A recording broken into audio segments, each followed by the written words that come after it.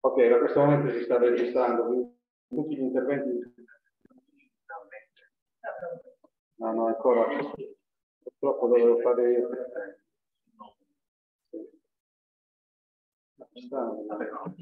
Sì, mentre scusa. Quindi dicevo, giusto per, per, rendere, per renderla breve, abbiamo questo, questi scenari critici, ma abbiamo questa, anche questa visione nuova, nuove, nuove filiere produttive che si affacciano intorno al tema del biomassa, eh, all'uso delle risorse organiche, all'utilizzo degli scarti, no? che sono una delle fonti principali di biomassa, all'uso dell'asset forestale e così via. Questo già vi fa capire come il tema che affronteremo oggi è un tema che mette il fuoco su una risorsa che ha natura di tipo competitivo, competitivo, quindi sarà importante strategicamente definire quanta, quanta, di, questa, quanta di questa biomassa deve essere restituita al suolo, quanta di questa biomassa può essere utilizzata per produrre altri beni e servizi. Quindi questo è un aspetto sicuramente da tenere in considerazione, ovviamente non spetta a noi, però è, è, da tenere sempre in considerazione quando si, si prospettano scenari di sviluppo di, di un certo tipo il suolo in questo scenario. Il suolo è straordinariamente importante, è una risorsa che, contrariamente a quello che si immaginava una volta, è una risorsa viva, non è un supporto come diciamo, si pensava che poteva essere utile solo per supportare le colture quindi si poteva surrogare con la chimica. Il suolo è fondamentale, si sta capendo sempre di più ovviamente, no? cioè questa, questa, questa comprensione, questa sensibilità è crescente, lo stanno capendo perfino le industrie. Le industrie che fanno bioeconomia oramai capiscono, la chiamano bioeconomia circolare, che si parte dal sole e bisogna tornare al sole. Perché è un asset straordinario, un asset fondamentale, quindi recuperare la fertilità dei suoli. Tutti sappiamo questo farvi vedere accesso. No.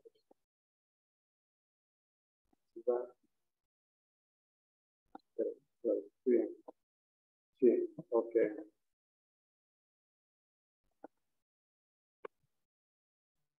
ok. No, non si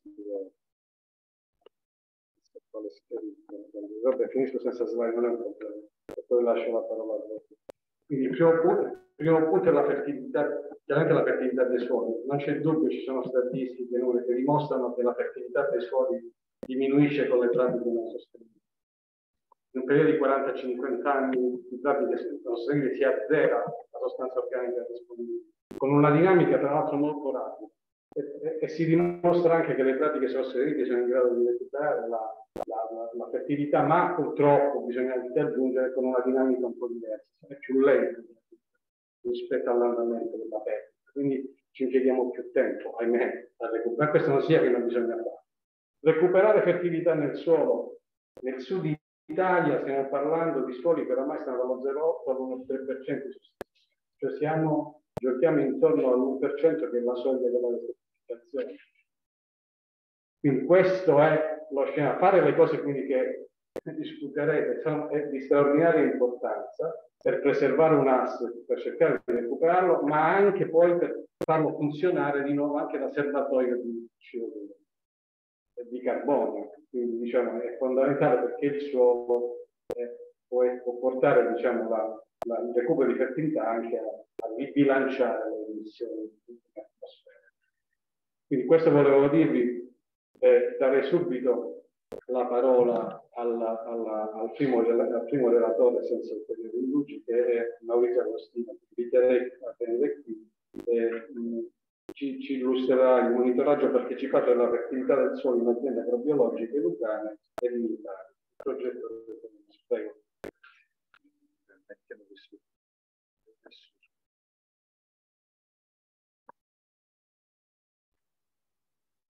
Abbiamo circa una ventina di minuti a testa, quindi magari faccio una mano, va bene. Eh, allora dividi lo schermo e vai qua.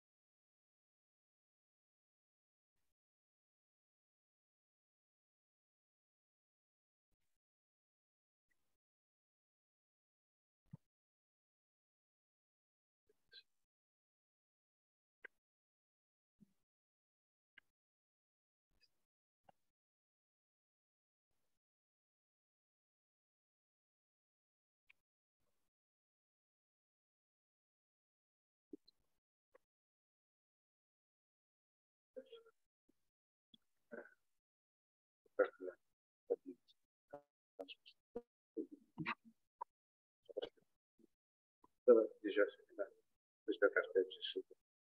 Dove non lo vedo? Sopra.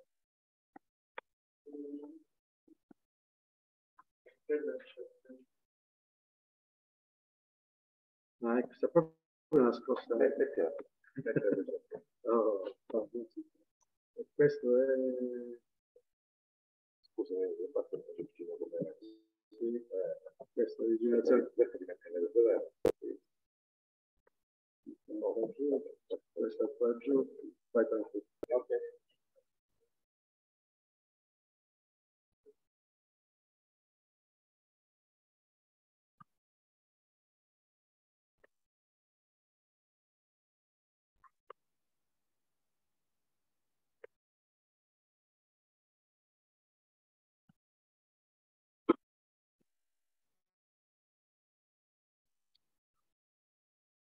Grazie, eh, io voglio ringraziare la SIA, eh, eh, voglio ringraziare la SIA che ha accettato questa, di organizzare questa bellissima pomeriggio insieme a tutti voi, eh, Agrobio, il consorzio lucano dei, dei biologici, eh, per uh, questa opportunità di confronto e di discussione che abbiamo questo pomeriggio. Ringrazio tutti voi che siete venuti, quelli che sono collegati da casa e vediamo di mettere a frutto uh, una sorta di confronto fra diverse esperienze di diversa natura, ma che hanno un unico punto di riferimento che è l'agroecologia e che è la gestione sostenibile sostenibile delle attività agricole eh, nel territorio rurale.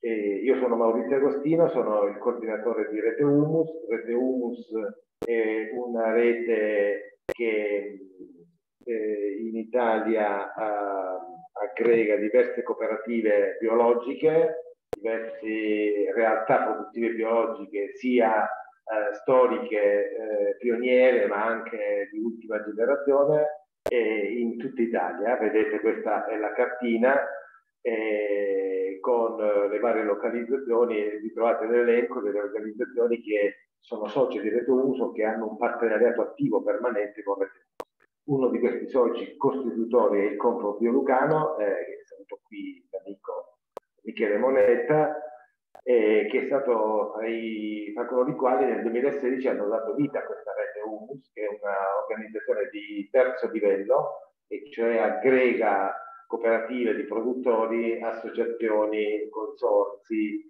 eh, organizzazioni varie. Oltre alle cooperative biologiche, eh, l'esempio del o consorzi come Compro di Lucano, in Rete Humus troviamo eh, delle organizzazioni diciamo, della società civile eh, impegnate nella, nella tutela dell'ambiente, del territorio, delle tradizioni, a promuovere la sostenibilità come valore.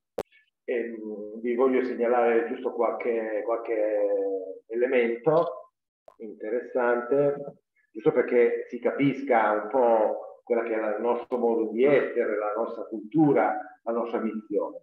ISDE Italia, Associazione Medici per l'Ambiente, è un network che aggrega eh, 800 medici in tutta Italia che eh, sono impegnati a, a, a difendere l'ambiente considerando l'ambiente come il presupposto della salute umana. Non c'è una salute umana senza una salubrità ambientale. Non possiamo essere in salute se viviamo in un ambiente inquinato, dissestato.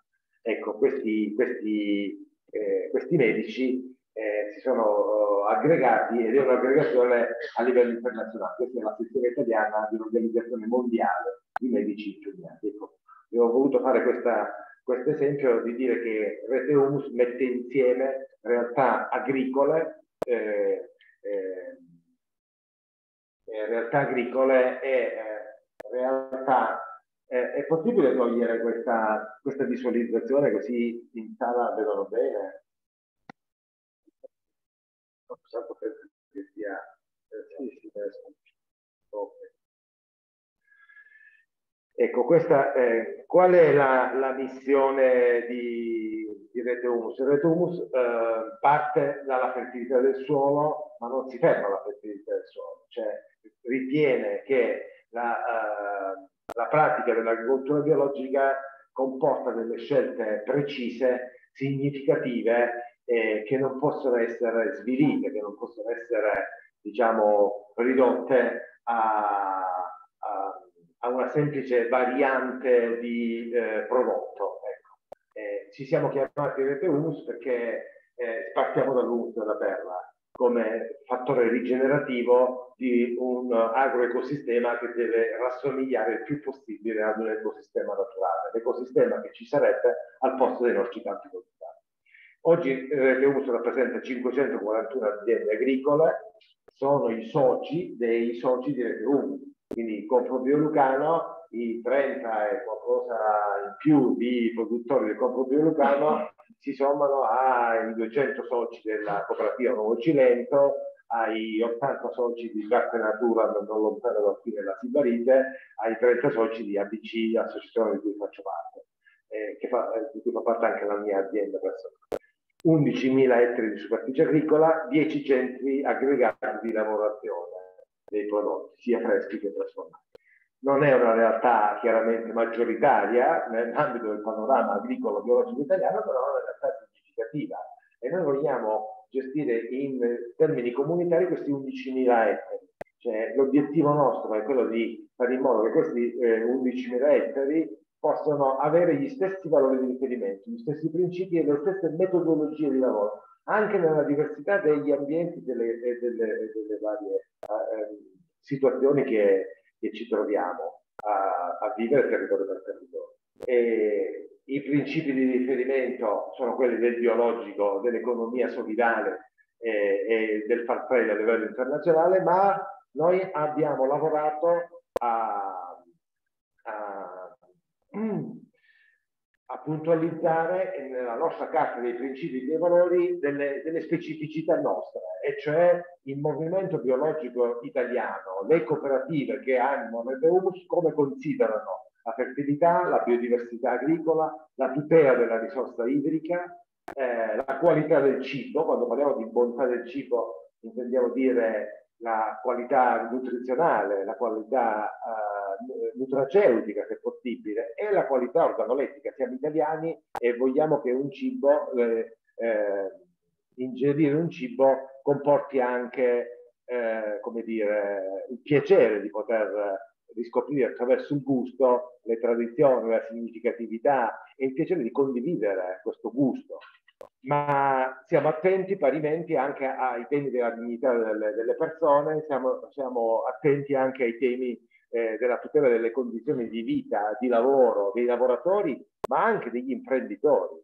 degli agricoltori, no? eh, e cioè eh, non esiste sostenibilità dell'agricoltura senza una vita dignitosa da parte di chi lavora la terra, sia esso eh, operaio dipendente, sia esso eh, contadino imprenditore. Eh, viviamo un settore economico particolare. Per caso mondiale. Dove l'imprenditore, cosa? C'è qualcuno che vuole parlare con noi? Ok. Se chi è in ascolto da casa può spegnere il microfono. Stavo dicendo che l'agricoltura, più di altri settori economici, vede impegnato l'imprenditore direttamente nell'esecuzione materiale di molte operazioni culturali. Per cui noi non distinguiamo tra le condizioni di vita dignitose di chi è lavoratore dipendente da chi eh, è imprenditore, ma anche diciamo, lavoratore nella sua azienda. Ecco, questo è importante. E, ehm,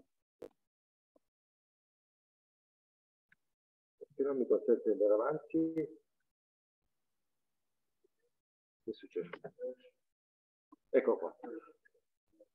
Ecco, cosa, eh, il nostro progetto di, di, monitoraggio partecipato della fertilità del suolo è partito da questa regione, dalla Basilicata, dall'Alzia, eh, dal progetto Carbon Farm che ha visto insieme lavorare, eh, lavorare insieme l'Alzia, l'Università di Potenza, Massimo se dimentico qualcuno eh, ricordamelo, l'Università di Salerno, il CREA eh, appunto che coinvolge Massimo Zaccardelli, se non mi sbaglio anche l'Università di Torino, mi sbaglio?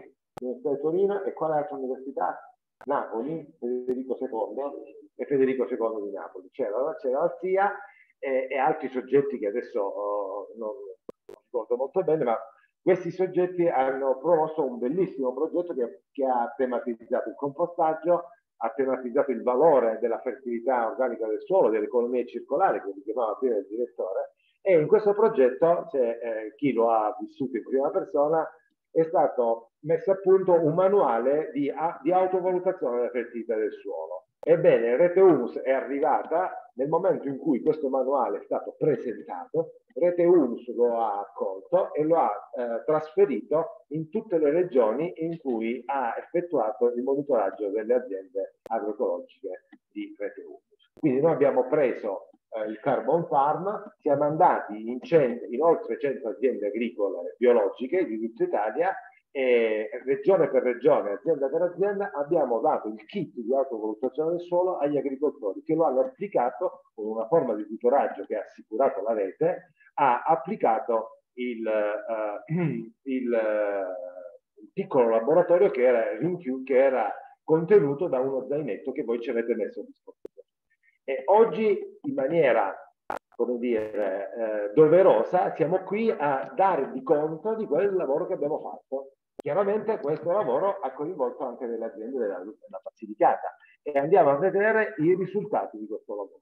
Li vedremo con un occhio di riguardo per i temi della fertilità, ma il monitoraggio non si è fermato alla fertilità, perché, come vedete, da questa griglia, vedete quelle che sono state le osservazioni che abbiamo fatto. Le abbiamo fatte sulle, dalle 541 aziende, ne abbiamo selezionate circa un centinaio e adesso vedrete anche come si sono distribuite, e, perché eh, abbiamo voluto testare la, eh, la, prova della vanga, cioè il, il test Carbon Farm, insieme a una serie di altri rilevamenti e cercare di capire come arrivare a sintesi. Questo è un lavoro che è stato molto laborioso perché eh, la realtà è sempre va oltre la, la, nostra fantasia e quando ti trovi ad applicare quello che hai pensato con la tua fantasia, trovi che la realtà è ancora più avanti, quindi devi adattare strumenti, metodologie, sistemi e quindi è un lavoro che ci ha impegnato molto. Questi sono i criteri che noi, i rilevamenti che abbiamo fatto, rilevamenti di dati aziendali desumibili da un semplice colloquio o da una documentazione, prendete il fascicolo aziendale o una notifica di produzione biologica, le valutazioni dirette in campo e le valutazioni di laboratorio, i test della, uh, diciamo, delle prove analitiche dei terreni che abbiamo effettuato nel territorio, eh, in, in, uh, in, laboratorio. E, chiaramente, come vedete, questa attività ha comportato molta attività in campo, attività che ha, ha messo insieme esponenti del mondo della ricerca, agricoltori e anche giovani eh, desiderosi di imparare tecniche avanzate di agricoltura organica. In questa foto c'è il professore Celano, uno dei protagonisti del progetto Carbon Farm, da qualche parte nascosto c'è anche Massimo Zaccardelli, ma non si è fatto vedere nella foto, ci sono io, ci sono, ci sono gli amici della cooperativa Nuovo Cilento, qui siamo a Cerato, all'azienda La Petrosa in Campania. eh, l'estrazione dei suoli l'abbiamo fatta anche cooperativa per cooperativa e, e le cooperative hanno eh, trovato il gusto di raccogliere i campioni azienda per azienda, di portarli in cooperativa e di fare dei momenti di discussione sulle prime impressioni che sono state eh, tirate su dal rilevamento proprio grazie al metodo Carbon Farm. Quindi quel metodo, adesso lo vediamo, ha fatto una serie di, eh, di eh, osserv- dava, è fondato su una serie di osservazioni visive, tattili, e noi ci, ci abbiamo aggiunto anche la parte dell'olfatto, ve lo, pre, ve lo, ve lo anticipo, e, queste cose eh, vengono fuori poi delle discussioni, perché non trovi l'ombrico, perché le trovo, perché trovo la suono di lavorazione, perché non la trovo, perché il terreno non si disgrega. Ecco, sono cose veramente molto importanti che eh, la lungimiranza di chi ha messo a punto quel sistema ha, ha preordinato. E andare in giro per campi significa incontrare realtà diverse, questa è una foto del presidente della cooperativa La Terra e il Cielo in un campo di una popolazione evolutiva di grani composta da 700 varietà di grano duro. E la collezione di, di eh, Salvatore Ceccarelli che si è portata dietro dalla Siria prima dello scoppio della guerra e, e che ha dato in dotazione a, questa cooperativa e adesso c'è già una pasta fatta di 700 grani duri, una popolazione evolutiva che in questo territorio si sviluppa e va avanti ma ci sono anche esperienze di eh, eh, momenti di interazione e un compostaggio di una sanza, di un frantoio sociale, il frantoio sociale che restituisce ai soci non solo l'olio, ma restituisce il compost derivante dalle sanze che hanno, delle olive che hanno portato l'anno precedente.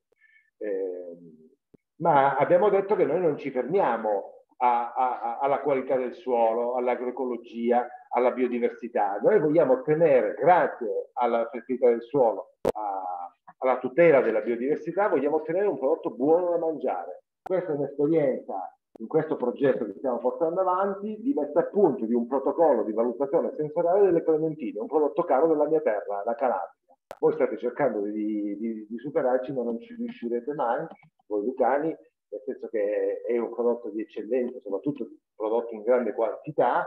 Eh, ebbene, queste clementine derivano dai campi che abbiamo monitorato in Calabria e abbiamo cercato di vedere se quel tasso di, di, di fertilità organica elevato dei suoli si, tradu si, si, traduce poi effettivamente in un gusto e una uh, conformità organolettica del prodotto ottenuto. E, e, ci sono cose importanti. Ecco, questo è il campione, è il campione delle, delle, aziende che abbiamo ehm, che, abbiamo, eh, che hanno partecipato a questo primo giro di eh, messa a punto della metodologia di valutazione e di monitoraggio partecipato eh, delle aziende.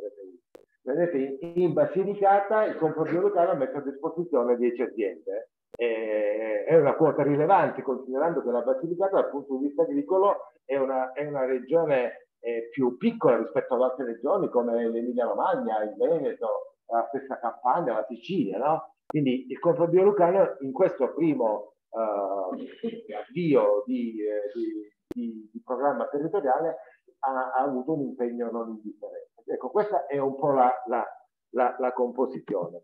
In nero vedete le, eh, i gruppi che sono stati eh, organizzati e tutorati dai soci di Rete Humus, in, ehm, in eh, arancione ci sono delle realtà che non sono soci di Rete Humus ma che hanno partecipato lo stesso, sono state coinvolte, eh, cioè sono dei partner che hanno trovato interesse a lavorare pur non essendo soci di, di Rete Humus. Vedete in Puglia, un poco distante da qui c'è un gruppo di aziende a Massafra, eh, le Galline Felici, un consorzio interessante di aziende in Sicilia, e il gruppo Abele che è un'azienda agricola.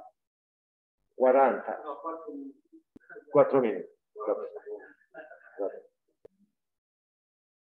Vi vado, vi vado a, a, far vedere cosa abbiamo fatto per quanto riguarda la fertilità del suolo.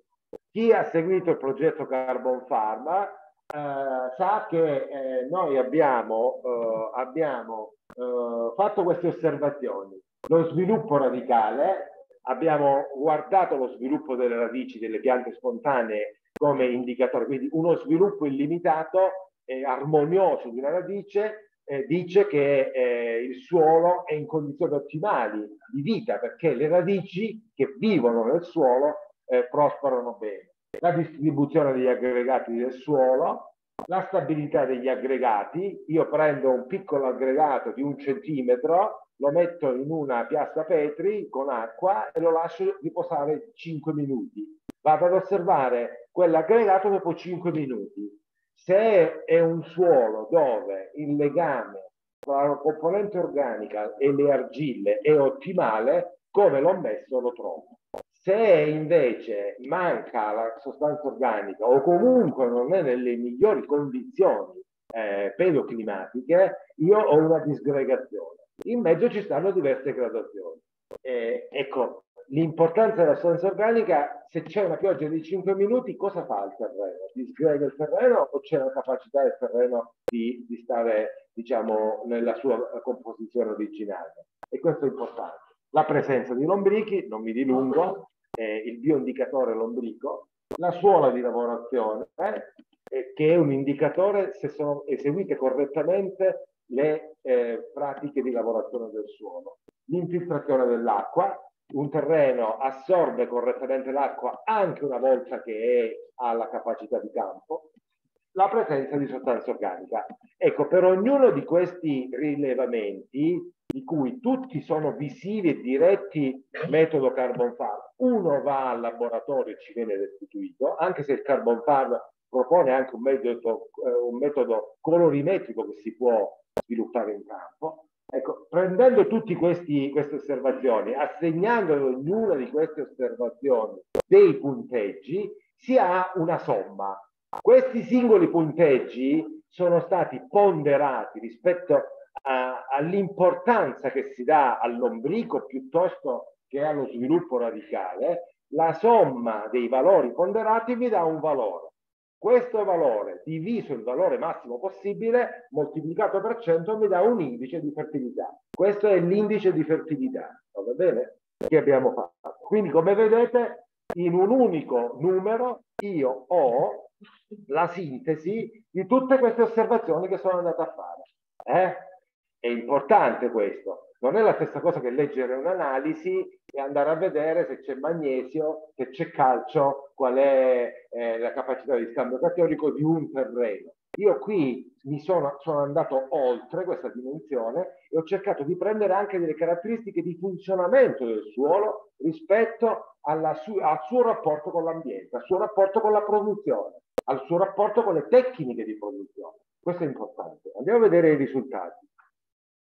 Ecco, i risultati sono questi. E I risultati sono questi. Come vedete, ogni gruppo è una colorazione. Vedete, eh, quelle, quei, quei rettangoli ci dicono la, il valore massimo, il valore minimo e la maggior parte dei valori dove si sono distribuiti la maggior parte dei valori. Vedete che ho un eh, indice di fertilità medio di circa il 72%, cioè in media il dato nazionale dice che nei, nelle 102 aziende agricole biologiche monitorate, il direttore mi deve dare altri 5 minuti ho finito. 5 minuti, grazie. perché sono il primo, non li posso prendere. Come vedete, come vedete il valore medio supera il 70%. Significa che già su una prima uh, lavoro noi abbiamo 7, 7 più. Ecco. Abbiamo, abbiamo preso al voto del nostro primo tema 7 più come media nazionale. Ma andiamo a vedere realtà per realtà. Eh? A parte che non è una gara, non è una classifica, è un modo per dire eh, noi facciamo agricoltura biologica e diamo questi risultati, ci mettiamo in discussione. Quindi il significato è questo cioè la trasparenza è il presupposto della garanzia. Mi sono spiegato? Eh. Andiamo a vedere, e chiaramente a questo punto andiamo direttamente sulle aziende di cui alcune sono qui in questa sala, cioè delle aziende del comproprio Lucano. E cioè delle, delle... Quindi vedete, quello è il dato. Ci sono delle realtà eccellenti che arrivano anche, che superano il 9. Chi è che supera il 9? Una realtà del Bresciano si chiamano la buona terra, forse sapevano di avere una buona terra, arrivano ad avere una media superiore al 90%. È un gruppo di aziende agricole biodinamiche da 20 anni che in un clima continentale hanno raggiunto livelli eccellenti di fertilità, non solo di sostanza organica dei, dei suoli, ma eccellenti di fertilità.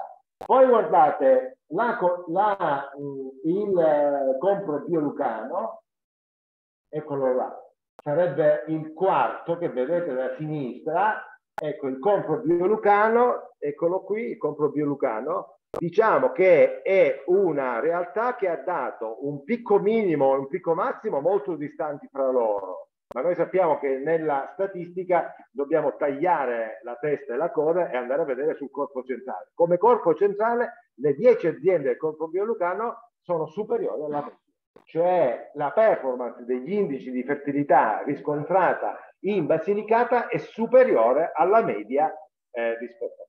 Adesso potremmo aprire una discussione lunghissima perché dovremmo andare nel merito azienda. Noi abbiamo fatto, facciamo questo lavoro, si va nel comprobio lucano si prendono le aziende si dicono, si mettono trasparentemente a confronto i dati di un'azienda con i dati di un'altra azienda, cercando anche di circostanziare i risultati. Vi, vi voglio fare un esempio. La realtà che apparentemente è a più basso indice di fertilità è questa, che è la cooperativa La Terra del Cielo. E lo sapete perché? perché la cooperativa del cielo sono cerealicoltori della collina marchigiana e in tutte queste aziende una sola azienda ha la zootecnia, le altre aziende non hanno la zootecnia e noi sappiamo che la cerealicoltura senza la zootecnia è penalizzata a meno che non, in, non interveniamo con delle pratiche agroecologiche di alto livello e, ci stiamo, e RTUS ci sta lavorando. Cioè cosa andiamo a fare adesso? Andiamo ne, nelle diverse realtà e diciamo quali sono i, i risultati migliori, tuteliamo. Quali sono i risultati che possono essere migliorati? Qual è la strategia di sperimentazione, di divulgazione e di formazione che dobbiamo fare, di dimostrazione per poter alzare questi dati? Il risultato qual è? Che lavoriamo a dei sistemi alternativi al letame per poter compostare in azienda delle matrici organiche vegetali. Tra qualche anno torneremo e andremo a fare questo monitoraggio. Tutto questo è in una banca dati che è accessibile ai singoli produttori e anche ai consumatori e anche agli operatori di mercato. Questo è il progetto di Rete 1. Questo progetto di Rete 1 si concretizza in un sistema di garanzia partecipata, cioè la garanzia è che chi partecipa, gli agricoltori, mettono a disposizione i dati della propria azienda chi usufruisce di quei dati può andare e chiedere spiegazioni. Questa è la garanzia partecipata, perché è una garanzia che si fonda sulla trasparenza e sulla condivisione dei risultati da parte di tutti.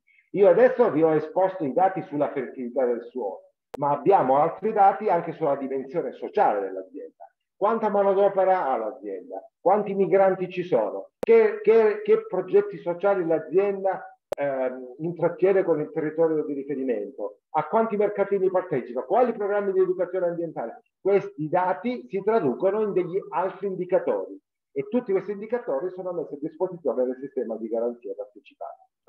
Noi vorremmo nella primavera con il Confrontio Lucano organizzare un grande momento di socialità dove adesso oggi è un momento tecnico, no? rivolto ad addetti ai lavori, ma questi risultati noi li condivideremo in piazza con organizzazioni civili, organizzazioni agricole e con i quadri tecnici, tecnici della ricerca e della sperimentazione. Grazie.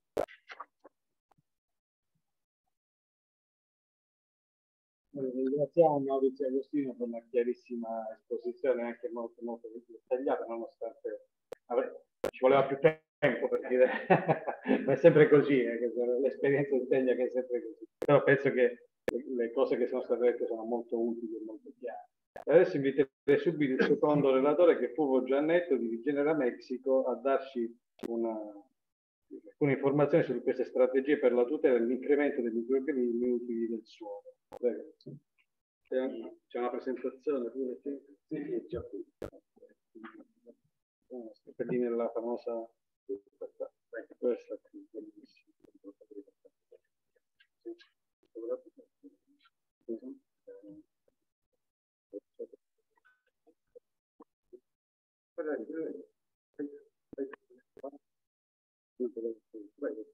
Questa? Sì, vai.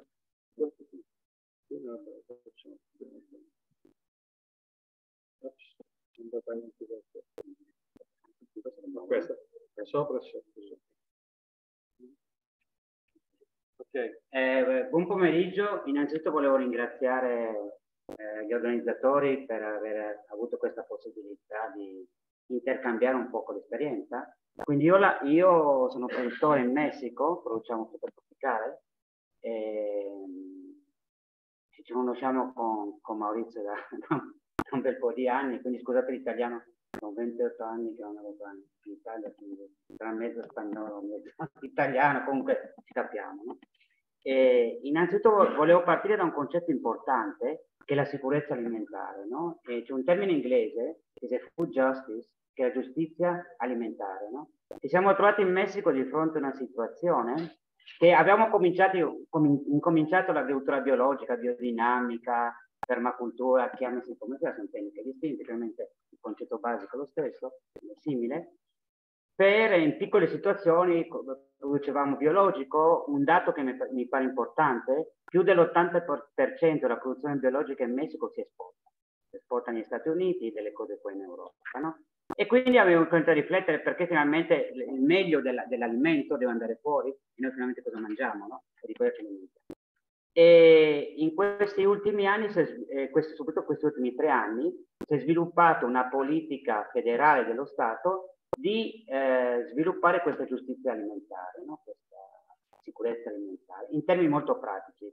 Una cosa è l'agricoltura di sussistenza, coltivo mais, coltivo fragole, coltivo banane, coltivo X coltivi, o faccio allevamento, però finalmente lasciamo qualcosa locale, no? che la gente abbia diritto a alimentarsi. Nel 2008, nello stato dove vivo, si chiama Michoacán, nello stato della costa del Pacifico, siamo arrivati a, a organizzare le mense scolastiche per i bambini di basso, basso ricorso, nella una città magari un milione, un milione di mense scolari eh, giornalmente fatte da piccole produttori. Il problema che è cresciuto con tutto questo è che finalmente non avevamo abbastanza mezzi tecnici per poter produrre questa quantità, perché non tutti volevano fare il compost, non tutti volevano fare la decomposta. E quando parliamo di superfici molto grandi è più difficile. Secondo, secondo aspetto, sempre di più ci incontriamo, soprattutto in zona tropicale, con insetti o funghi molto difficili da controllare. Non abbiamo il dato per il tropico, non so, non so qua, qua in Italia. Generalmente quando tu fai una, una una fumigazione, un'applicazione, tra il 18, 18 e il 20, eh, tra il, eh, scusate, l'8 e il 18% di insetti scappano, perché stanno dietro la foglia, perché non è uniforme, quindi tutti i mesi una popolazione di insetti resistente potenzialmente alla sostanza. E quindi abbiamo imparato a disegnare distinti mezzi tecnici che abbiamo bisogno come produttori per poter fare di fronte a questa necessità alimentare, stiamo parlando di 190 milioni di persone, o perlomeno dà l'opportunità alla gente di, comere di mangiare in un modo più, più sano. No? E, e, quindi io ho cominciato a, soprattutto con delle risorse naturali che tutti abbiamo sotto il naso, che sono finalmente le piante silvestri, no? quelle che qui per ragioni culturali si chiamano erbacee, non sono erbacee per niente, le chiamiamo così per ragioni culturali, e quindi tutte queste piante, queste piante silvestri, silvestri silvatiche, scusate, hanno un uso preciso in agroecologia. Per esempio, qualsiasi pianta è una pianta bioindicatrice, ci informa qual, qual è il tipo del suolo o come evoluziona questo tipo di suolo, punto uno. Punto secondo, la maggior parte di queste piante, mi, riferisco a popolazioni di piante, contengono elementi minerali distinti, quindi ho una fonte potenziale di elementi minerali che posso incorporare al compost generalmente si comprano al compost, o le, le brucio e le, le, ceneri le utilizzo come fertilizzante. Quindi avevo cominciato con questo, eh, lo stesso per fabbricare insetticidi, per fabbricare prodotti per il controllo di insetti e abbiamo cominciato a lavorare anche con gli ormoni. No? E quindi abbiamo sviluppato all'epoca, vi parlo di, a, a, di circa 200-250 piante selvatiche che la gente continua a utilizzare nelle sue pratiche agricole perché comprare i mezzi tecnici, non so qua in Italia, ma comprare i mezzi tecnici, mezzi tecnici biologici o certificati come biologico è carissimo, moltiplica per la superficie che devi utilizzare. Quindi abbiamo cercato fin dall'epoca una forma più sostenibile, ma sostenibile davvero o ecosostenibile, per poter produrre qualità, qualità. Anche sotto la pressione, io ho sportato per anni, eh, che il mercato sempre più ti chiede una frutta o una, una verdura bella anche in apparenza, non solamente il sabono o potenzialmente sapone. Quindi sono associate queste cose e abbiamo cominciato a strutturare queste biofabbriche, che è il tema, il tema della, della, della chiacchierata, dell'intercambio che abbiamo giorno, giorno adesso. No? Quindi perché sempre devo essere dipendente di comprare dei prodotti quando io stesso li posso fare? Ovviamente non li faccio come i microorganismi, e tocchiamo il sistema di microorganismi, non li posso fare nella cucina della casa, però come produttore, e sono produttore, me ne ingegno per fabbricare dei microorganismi di qualità. Vi do, vi do un esempio. Io ho cominciato con i microorganismi eh, 1998-99, un'impresa statunitense nella regione, nella regione dove, dove, vivo c'è un sacco di avocado, terribile l'avocado, sono monocoltivi di avocado, vi parlo di 320 mila ettari attualmente no? di esportazione, c'è un problema all'avocado con un, piccolo curculionide, no? un insetto, un picudo diciamo in spagnolo che attacca l'avocado. E quindi, senza fare nomi di questa struttura di imballaggio, ci detto guarda stiamo provando un ongo entomopatogeno, sono dei funghi che attaccano, che mangiano la, la chitina dell'insetto, che si chiama Bauveria bassiana, perché non provate, proviamo a sviluppare come possiamo coltivare questo, questo fungo? E ci hanno lasciato dei ceppi. Poi mi ha scoperto che i ceppi finalmente vivono anche nel suolo, no, ovviamente, o vivono su, sui corpi dell'insetto che ha attaccato, e quindi abbiamo cominciato a riprodurle. Io ho cominciato a riprodurle in modo eh, solido, utilizzando, eh, riproducendo le spore in farina di riso o farina, o farina di, di, orzo o farina di grano. Ricordate che la spora è volatile, così la spora sparisce. E soprattutto, non è tanto lavorare con un microorganismo, è adattarlo alle pratiche agricole di un produttore. Per esempio, la maggior parte dei funghi entomopatogeni si applicano eh, la mattina presto o il pomeriggio perché il la, la, i raggi UV del sole distruggono questi funghi, quindi devi adattarlo, che bene che funzioni, però devi adattare. La seconda cosa che ha avuto un boom enorme dal 1998-99, esperienza personale, sicuramente all'epoca altri ricercatori hanno fatto questo, non lo sappiamo, non lo conosco, arriviamo alla situazione attuale dove fra Messico e Nord America, includiamo eh, Canada e Stati Uniti, ci sono 278 specie di microorganismi, microorganismi disponibili nel mercato, carissimi, però ci sono. Quindi qualche, qualsiasi produttore che abbia un sistema convenzionale, agrochimico o biologico, l'altro sistema li può comprare e utilizzare. Però la maggior parte di questi microorganismi sono batteri che aiutano a fissare L'azoto, è il caso per esempio del, dei, dei risobium, per esempio la sospirillum, eccetera, eccetera. Alcuni sono entomopatogeni che mangiano la chitina dell'insetto, lo stesso per dei funghi, no? Ci sono dei funghi che eh, combattono, combattono la palabra, che eh, disputano un territorio fra, eh, con altri funghi, si chiamano funghi antagonici, il più conosciuto è il tricoderma, chiacchierando qui con i colleghi ci siamo resi conto che anche qui in Italia utilizzate pari col tricoderma. Noi lavoriamo con otto specie di tricoderma. Ricordate, se lavorate col tricoderma, il tricoderma è molto territoriale. Per esempio, il tricoderma che sicuramente c'è nel suolo qui a Metaponto è differente dal tricoderma che incontro nella Sila. Perché c'è una specificità questo tricoderma, no? Sono 70, 72 specie di tricoderma e poi abbiamo cominciato a lavorare questi ultimi anni con gli actinomiceti, gli actinobatteri, che sono un altro mondo interessante, tutti lo sappiamo, dicono i libri, no? piove, senti questo odore a umido, sono gli actinomiceti, no? attualmente tassonomicamente si classificano come actinobatteri. Perché sono interessanti? Conosce, conosciamo molto molto poco su questi, su questi microorganismi però stiamo scoprendo che aiutano un sacco a stimolare il crescimento, il cres la crescita di funghi o di batteri. E se, eh, stiamo lavorando con, al con, alcuni archea, anche a, a, livello sperimentale, e i virus. E il, il, virus è un mondo a parte, non è il tema magari di oggi, però ci sono già disponibili nel mercato dei granulovirus, che sono dei virus specifici per attaccare alcuni lepidotteri nel mais. No? Faccio vedere le fotografie. Che bene finalmente che esista tutto, adesso, tutto questo, il problema è io come produttore come posso beneficiarmi che tutto questo esiste nel, suolo, va bene, però come faccio per tirarlo fuori dal suolo? Quindi volevo far vedere un po' le tecniche, alcuni di questi microorganismi, e le tecniche che abbiamo imparato per estrarlo dal suolo, riprodurlo e poterlo applicare, ovviamente bajo secondo regole di controllo di qualità, di qualità. Questo è molto importante. Per esempio, tutti questi microorganismi sono importanti no? nel, nel, sistema, nel sistema. Scusate, viene in spagnolo. Tradurlo. La prima cosa importante, se lavorate con questi microorganismi benefici, la caducità sono 3-4 mesi. Per esempio, se io compro un pacchetto di un tricoderma che mi dice che questo tricoderma, la, la, la, eh, sua, feccia, la sua data di scadenza e il mese di aprile non è interessante utilizzarlo perché dura un mese, essendo, essendo quindi sapete che durano 3-4 mesi non di più, con eccezione di alcuni actinomiceti che possono durare, che possono durare due anni. Secondo, importante, è il numero di spore. Il principio è che ciascun microorganismo potenzialmente riproduce un altro microorganismo. Tutto questo lo, chiamiamo, lo chiamiamo scusatemi, unità formatore di colonie. Deve essere minimo alla 10 alla 8 se no, per millilitro o programma. Se, se, è inferiore a questo avete il rischio che non funziona come dovrebbe. Ah, lo sta facendo lui.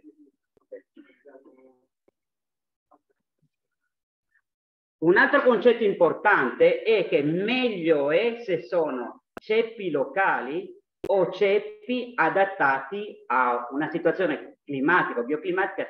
Funzionano anche se non sono dello stesso, dello stesso ambiente climatico, però aiuta molto che siano della zona. Un'altra cosa eh, se voi lavor lavorate con dei tricodermo dei funghi che vengono in polvere, quindi dovete sempre verificare qual è l'agente vettore. Per esempio, come sono spore, vi ripeto, molto, sono molto eh, una polvere finalmente. Quindi generalmente si avvolgono in farina di, di riso o farina di, di grano, però lo, molto meglio è quando sono avvolti in farina di diatomea. Penso lo conosciamo, la diatomea sono alghe silice fossili, sono come dei piccoli coltelli. Quindi quando lo applichi sull'animale, sull'insetto, gli fa una lesione ed è il longo entra dentro.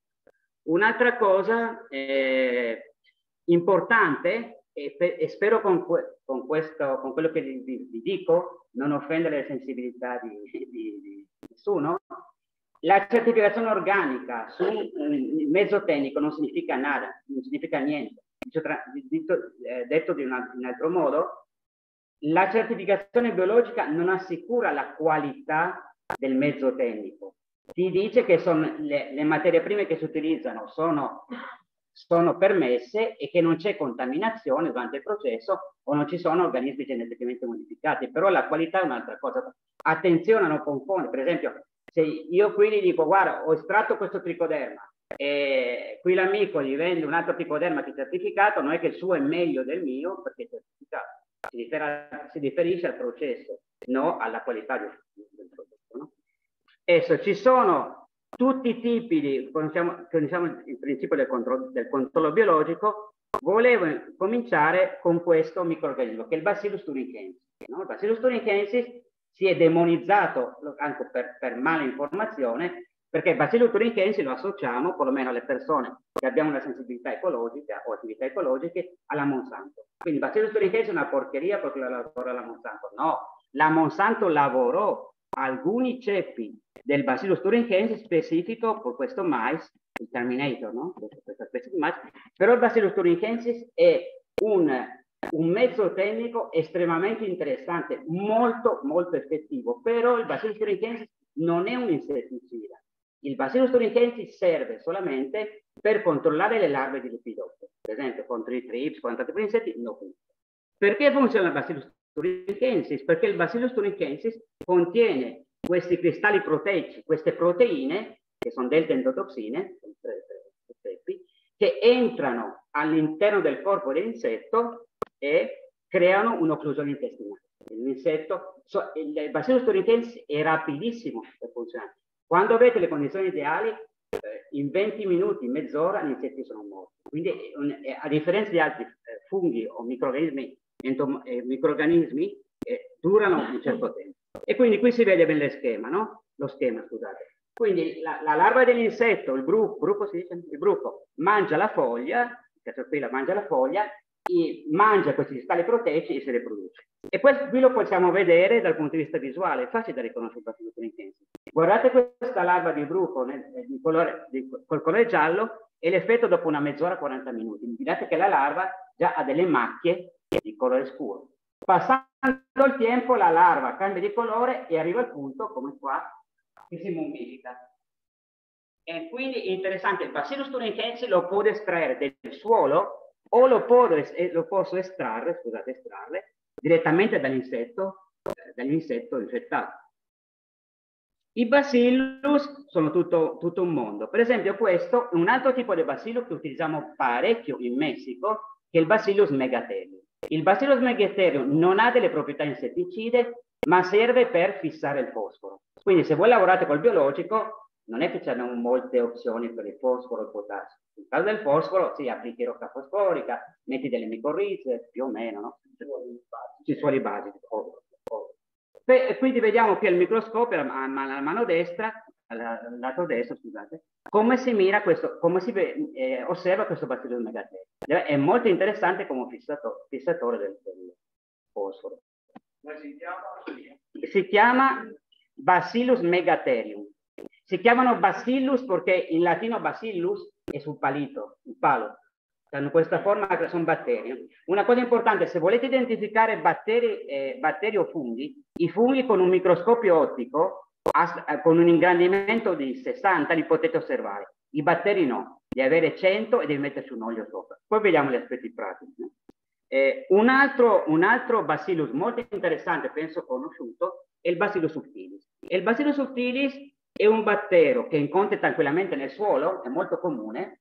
Il bacillus subtilis è interessante per, per, per noi produttori perché lo puoi applicare via fogliare o via radico, a livello delle radici. No? Ha, hanno incontrato eh, ceppi di Bacillus subtilis ehm, in clima estremamente rigidi, nell'Artico per esempio, nel, in vari del, deserto dell'Atacama, no? nel deserto cileno, stiamo parlando di 60-70 gradi centigradi, no? e l'hanno anche sperimentato nelle stazioni spaziali.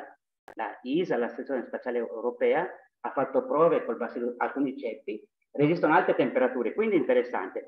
Ecco, volevo, volevo, eh, volevo fermare un pochino sul Bacillus subtilis, perché il Bacillus subtilis, quando l'abbiamo utilizzato per la prima volta, quando si utilizzava 10-20 anni fa, lo, associava, lo, associamo, lo associavamo a un batterio con uso fungicida per controllare i funghi. Nel biologico non abbiamo mo molti, molti, ok, abbiamo la, il polisulfuro di calcio, abbiamo lo zolfo, eventualmente il rame, però alcune piante non ce ne sono tante, l'aglio magari, però l'aglio è facilmente repellente. E quindi abbiamo ricorso, abbiamo, utilizzavamo questo, questo, questo bacillus subtilis. Parentesi, è molto molto facile da riprodurre. E qui osserviamo, col tempo abbiamo scoperto che al, allo, tempo, al, al tem, allo, stesso tempo di avere un effetto fungi, fungicida e battericida, qui sono le, le, i principi attivi che contiene il bacillus subtilis, anche degli effetti interessanti di promuovere la crescita. Non solamente distrugge, è molto rapido il bacillo sottili, il fungo patogeno, però promuove la, promuove la, crescita della pianta e allo stesso tempo, interessante, produce il 2,3-butadeniol, eh, che è un alcol, che induce la resistenza delle piante, fa una pressione sulla pianta attaccata dai funghi, stimola le fitolessine della pianta e la pianta per risposta produce questo dostro, eh, però il, fungo, il, batterio produce questa, questa, sostanza. Quindi in termini pratici cosa vuol dire? Vuol dire che quando io applico il bacillus subtilis, lo applico nelle flat, come si chiamano i flat? Le, I piatti dove metti le piantine. Le padeli, i flat, i platoni, capiamo, no? Quando ho la piantina di un ortaggio, in questo momento applico il bacillus subtilis direttamente. Il principio è che se la pianta sale sana, ovvio, no? Cresce con meno, di, con meno difficoltà. Con meno di, e, sì, 5 minuti, ok. E, quindi il sottile è come si può applicare in tutti i sensi. Volevo, questi sono nuovi batteri, Bacillus pumilis, che lavoriamo, sono, questi sono i colori naturali del Bacillus pumilis, guardate, divertente, sembrano spaghetti, no? Pezzi di, di pasta, però estremamente interessanti. Questo è un batterio relativamente nuovo che lavoriamo, che si lavora, è il Pseudomonas fluorescens, si chiama fluorescens perché quando lo, lo, lo vedi alla luce ultravioletta brilla. No? La Pseudomonas fluorescens è, se all'inizio, volevo farvelo vedere, è questo, eh, volevo farvelo vedere, la Pseudomonas fluorescens all'inizio si utilizzava come stimolante della crescita.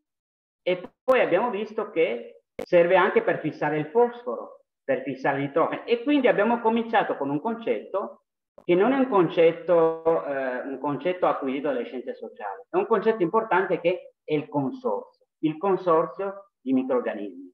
La maggior parte di questi microorganismi, la maggior parte, non tutti, sono compatibili, quindi li coltivo e li metto insieme quando faccio l'applicazione. Molti di questi batteri adesso si, si definiscono come PGPR, eh, batteri o microorganismi promotori della crescita delle piante. No? E questi sono gli azotobacter, il risobium lo conosciamo, il risobium penso lo conoscete, no? Sono queste piante di batteria che fissano. Una cosa importante, una cosa è fissare il nitrogeno atmosferico, un'altra è solubilizzarlo. Quindi, per esempio, ci sono, voglio farvi vedere questo biocadmio interessante con funghi. Scusate, il tempo è limitato. Adesso, questo per esempio lavoriamo con gli actinomiceti in tutto il mondo. Adesso volevo farvi vedere questa, eh, eh, più che altro per intendere il ciclo biologico di come funzionano gli insetti. Se io applico un, un fungo, abbiamo visto i batteri, adesso passiamo. Se io applico uno di questi funghi, questi funghi entomopatogeni che controllano gli insetti, come funziona un fungo entomopatogeno? Qui è ben chiaro. Non sono i tempi del bacillo sottile, mezz'ora, i tempi sono più larghi, vari giorni, però se ha le condizioni ideali sono estremamente effettivi. Qui si vede, quindi il longo cade, adere al corpo di insetto, ricordatevi che questi, questi funghi mangiano la chitina, dopo 6-12 ore entra all'interno del, del, dell'insetto, dopo, tra 3-8 dopo 3, 3 giorni dopo l'insetto muore, coperto da questo fungo. Come lo posso riconoscere? Qui si vede bene, una cince attaccata dalla Boveria bassiana, questo, questo, questo velluto, finalmente è longo che utilizza, sono le spore del longo, no? Questa è una foto anche, anche bella da vedere, no? Non so se avete visto, adesso c'è una, una serie Netflix che si chiama The Last of Us, no? Questo attacco delle... Non è, non è tanta fantascienza. Sì, sì.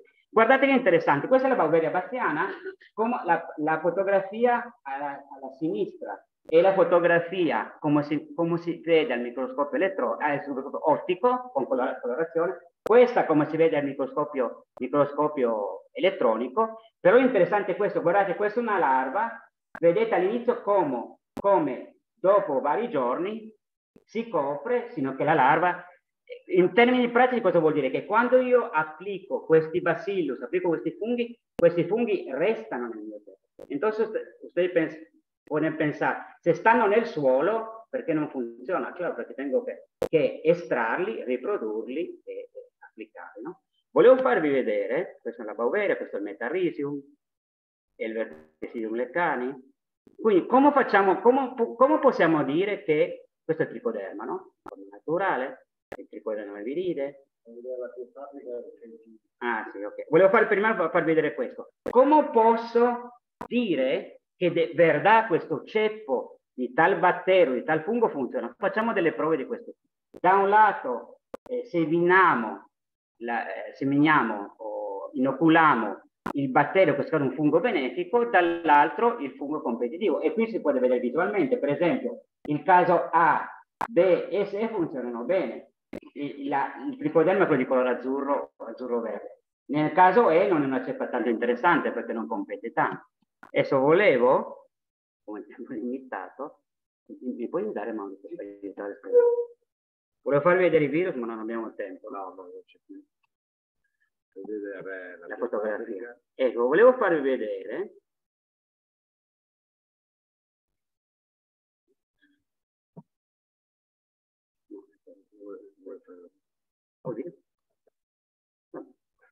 E quindi sappiamo tutti che c'è tutto questo nel suolo. Vi, eh, vi, dicevo, quando fai una mostra del suolo, generalmente il 95, il 98% di, di quello che tiri fuori o dei microorganismi che vengono fuori non abbiamo la minima idea di, di quello che è.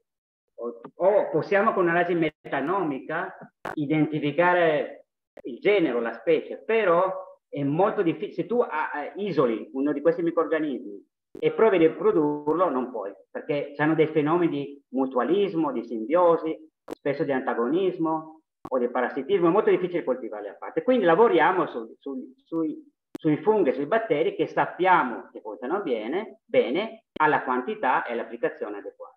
Per esempio questo è un esempio di biofabbrica. Cos'è una biofabbrica? La biofabbrica non è, non è il biologico messo in una fabbrica. La biofabbrica sono dei reattori verticali molto semplici, questi, per esempio questo è un reattore di 1300 litri, nei reattori verticali con l'acqua e un mezzo di coltivo, che generalmente zucchero, l'altro zucchero melasso, zucchero integrale, con farina di cereale, con vitamina del gruppo B e l'acido glucoronico, che serve per accelerare, quindi mettiamo queste sostanze nell'acqua, la lasciamo un mese, però l'importante di tutto questo è che la maggior parte dei microrganismi con i quali noi lavoriamo sono microrganismi aerobici, hanno bisogno dell'aria, dell'ossigeno e questo ci permette anche di avere un certo controllo perché non, non, arrivino, delle, non arrivino dei patogeni.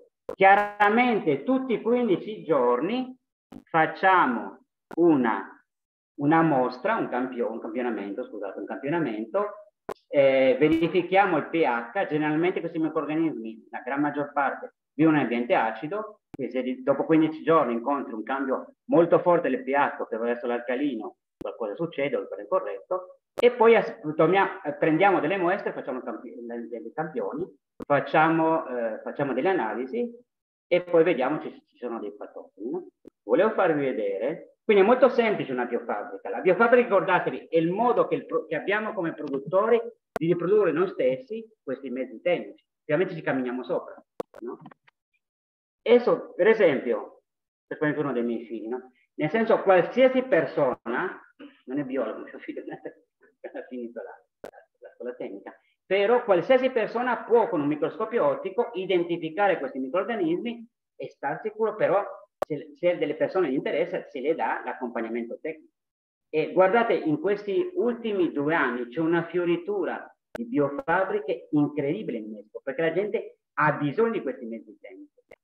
Qui in Europa sicuramente è differente, però è carissimo comprare l'urea, comprare il nitrato, comprare, non vi dico comprare i tecnici biologici, però è caro, no? E quindi come fai? Devi ben produrre, no? Volevo farvi vedere, adesso è un'immagine della biofabbrica, questo è grande, no? Generalmente la biofabbrica si costruisce, si, si, eh, si, costruisce, scusatemi, si costruisce in funzione di quella che è la tua superficie. Però ricordatevi che sono, sono biofabbriche modulari.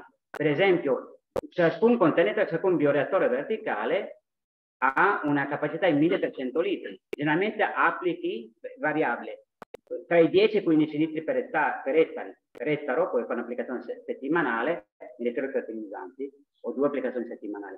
Quindi c'è un sacco di fertilizzanti. Quindi questa quantità enorme di fertilizzanti, se vuoi la intercambi con un altro produttore o la vendi perché magari l'altro produttore non ha il tempo di farlo, non ha la, la pazienza, non sta occupando di altro. Quindi tutto questo, un punto importante, mantiene un'economia circolare. E davvero, perché finalmente per me l'agroecologia e anche costruire strutture economiche che permettano alla gente di vivere e vivere in modo, in modo decente. Questo è un esempio di produzione. Guardate, la papaya è una frutta molto difficile da fare in biologico perché è delicata, perché attacca un sacco di virus, gli acidi. Generalmente una papaya convenzionale non ha tanta frutta. Guardate, la, la, la qualità è eccellente, no? Ma ho frutti da un chilo e due. Una varietà, no? Che si chiama Maradona? Però è interessante, chiaro, tutto, tu puoi avere il miglior mezzo tecnico del mondo, però se non lo applichi nel momento corretto o non integri un piano. Quindi noi facciamo parecchio sistema di permacultura. Questo more è una varietà no? eh, di mora che si chiama Brasos, una varietà, tupi, scusatemi, tupi. Eh, un'altra fotografia che volevo farvi vedere. Abbiamo finito dopo. L'abbiamo? Sì.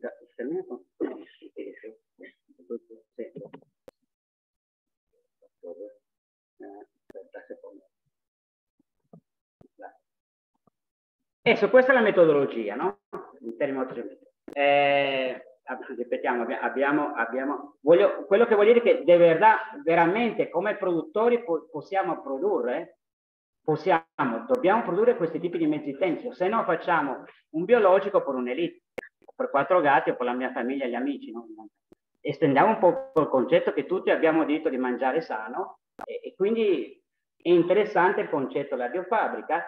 Un'ultima parentesi, eh, abbiamo imparato a produrre anche dei bioerbicidi, io so che la parola erbicida terribile per chi fa il biologico, però prova a diserbare alla mano, no? con la zappa o con un mezzo tecnico. No? Quindi ci sono dei microorganismi che sono patogeni, per esempio l'alternaria alternata, l'alternaria alternata, la lavoriamo, contiene dei metaboliti che sono erbicidi. Attenzione, una cosa è il dessecante, tiro l'acido acetico, l'acido acetico brucia una pianta, però sulla superficie. L'alternaria alternata va dentro e attacca e secca la pianta. E il problema è come faccio perché l'alternaria alternata non mi attacchi al coltivo. Per questo che questi microorganismi si mescolano con alcuni, con al, alcuni streptomyces, che sono alcuni miceti, con delle piante penetranti e attaccano solamente le piante selvatiche le quali le...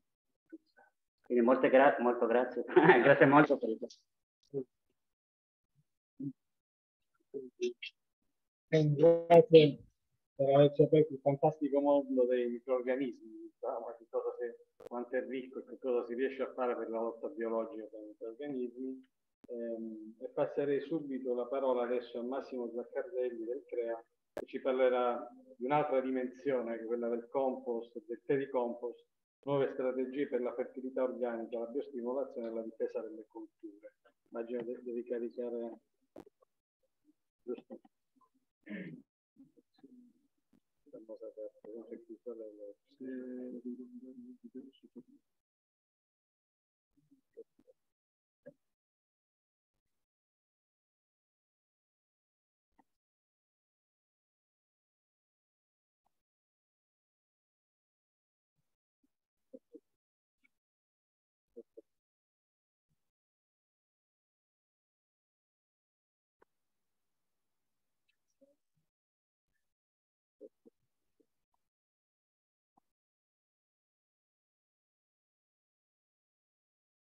Ah,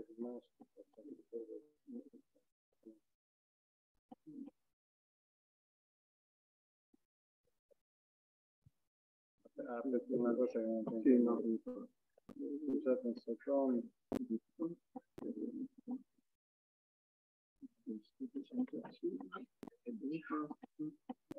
Visto, schermite. Modalità, schermite. Ok, ah, sei, sei online. Ok, mi metto il cronometro così ti aiuto pure io, così mi, mi vedo, vedo il mio tempo. Ok, allora buonasera a tutti, ringrazio Rete Humus, Altia e ehm, Agrobios per l'invito qui questa sera. Io vi parlerò di compost e di, di compost, che è qualcosa che questi ultimissimi tempi, devo dire, sta suscitando sempre più interesse, sebbene queste sono attività che noi abbiamo iniziato praticamente più di vent'anni fa per quanto riguarda il compostaggio, un po' più di dieci anni fa per quanto riguarda il telecompost. Un po' tutti immagino che farete la raccolta differenziata, almeno io spero, quindi il famoso umido che raccogliete, quindi questi scarti di cucina, vanno, mi auguro, in questi impianti di compostaggio eh, eh, diciamo, il compostaggio industriale in cui fondamentalmente vengono messe in queste biocelle dove c'è un processo di insufflazione di aria e bagnatura di questi cumuli di residui organici, quindi di origine alimentare chiaramente mescolati con eh, del materiale lignocellulosico, i residui di potatura, delle alberature e, e de, delle città vanno praticamente a costruire questi cumuli da qui si ha praticamente un compo da Forsu, dove Forsu sta per frazione organica dei residui solidi urbani. E questi quando sono di qualità effettivamente li possiamo utilizzare nel suolo, abbiamo fatto non solo noi ma tanti, tante sperimentazioni effettivamente si evidenziano gli effetti positivi dell'utilizzo di questi compost. Noi però da, da, un bel po' di anni insieme al professor Celano e poi successivamente con, con vari progetti, eh, tra cui il Carbon Fund che è stato citato all'inizio da Mette Agostino, abbiamo sviluppato quello che è il compostaggio aziendale, cioè il compostaggio dei residui agricoli. La realtà in cui lavoro principalmente è quella della Tena del Sele, dove abbiamo un'orticoltura molto intensiva, ortaggi sottoserra di vari tipi, soprattutto c'è la quarta gamma che è quella maggiormente diffusa. Questi residui per motivi fitosanitari li dobbiamo portare fuori dalle serre, c'è poco da fare, quindi si è posto il problema di cosa fare di questi residui. Questi residui possono essere chiaramente compostati tranquillamente ed è una pratica eh, che eh, viene sempre più attuata nel, nei comprensori orticoli intensivi. Nella piana del Sela abbiamo diversi, diversi impianti di compostaggio e rappresenta tra, tra l'altro un toccasana per questi poveri terreni così intensamente sfruttati sotto serra, con le elevate temperature, con i cicli continui. Abbiamo valori di, di sostanza organica che prima Cellini ci ha, ci ha ricordato, intorno all'1%, che poi è una sostanza organica fondamentalmente recalcitrante, non è più biattiva, è ferma lì, non è che ha più una funzione biologica. Quindi utilizzare questi compost aziendali prodotti in questi impianti di compostaggio, qui vedete un prototipo, il primo prototipo, il professor Celano mettemmo su nell'azienda del CREA di Battipaglia, dove fondamentalmente abbiamo un'insufflazione di aria al di sotto di questi cumuli, questi sono visti in sezione, eh, dove viene insufflata aria periodicamente perché questi tubi sono forati e quindi si ha l'ossigenazione dei cumuli eh, perché il processo di compostaggio è un processo che ha bisogno assolutamente di ossigeno. Questo è il primo progetto, il progetto Biocompost, dove finanziato nella scorsa programmazione PSR Regione Campania, dove fondamentalmente viene realizzata una platea in cemento perché per motivi legislativi per fare questo compostaggio noi dobbiamo eh, isolare da un punto di vista proprio il, il, il, il cumulo del compost da, da, dal terreno e eh, con queste mm, manichette grosse di, di, irrigazione, tubi di irrigazione fortunatamente forati, praticamente è stato realizzato questo impianto di compostaggio si parla di cumulo statico perché il cumulo non viene rivoltato ma viene, la, l'apporto di aria avviene attraverso queste insufflazioni da queste ventole che vedete qui. Qui ancora una visione dell'impianto, qui sono i cumuli, queste asse misurano la, la, temperatura e lì c'è chiaramente la zona di lavorazione di, di questi cumuli. Poi grazie ad un progetto PON è stato realizzato un altro impianto presso un'azienda di quarta gamma Battipaglia, qui abbiamo una serie di box, in realtà anche il principio è sempre quello, quello di insufflare aria attraverso la pavimentazione per assicurare l'ossigenazione dei cumuli.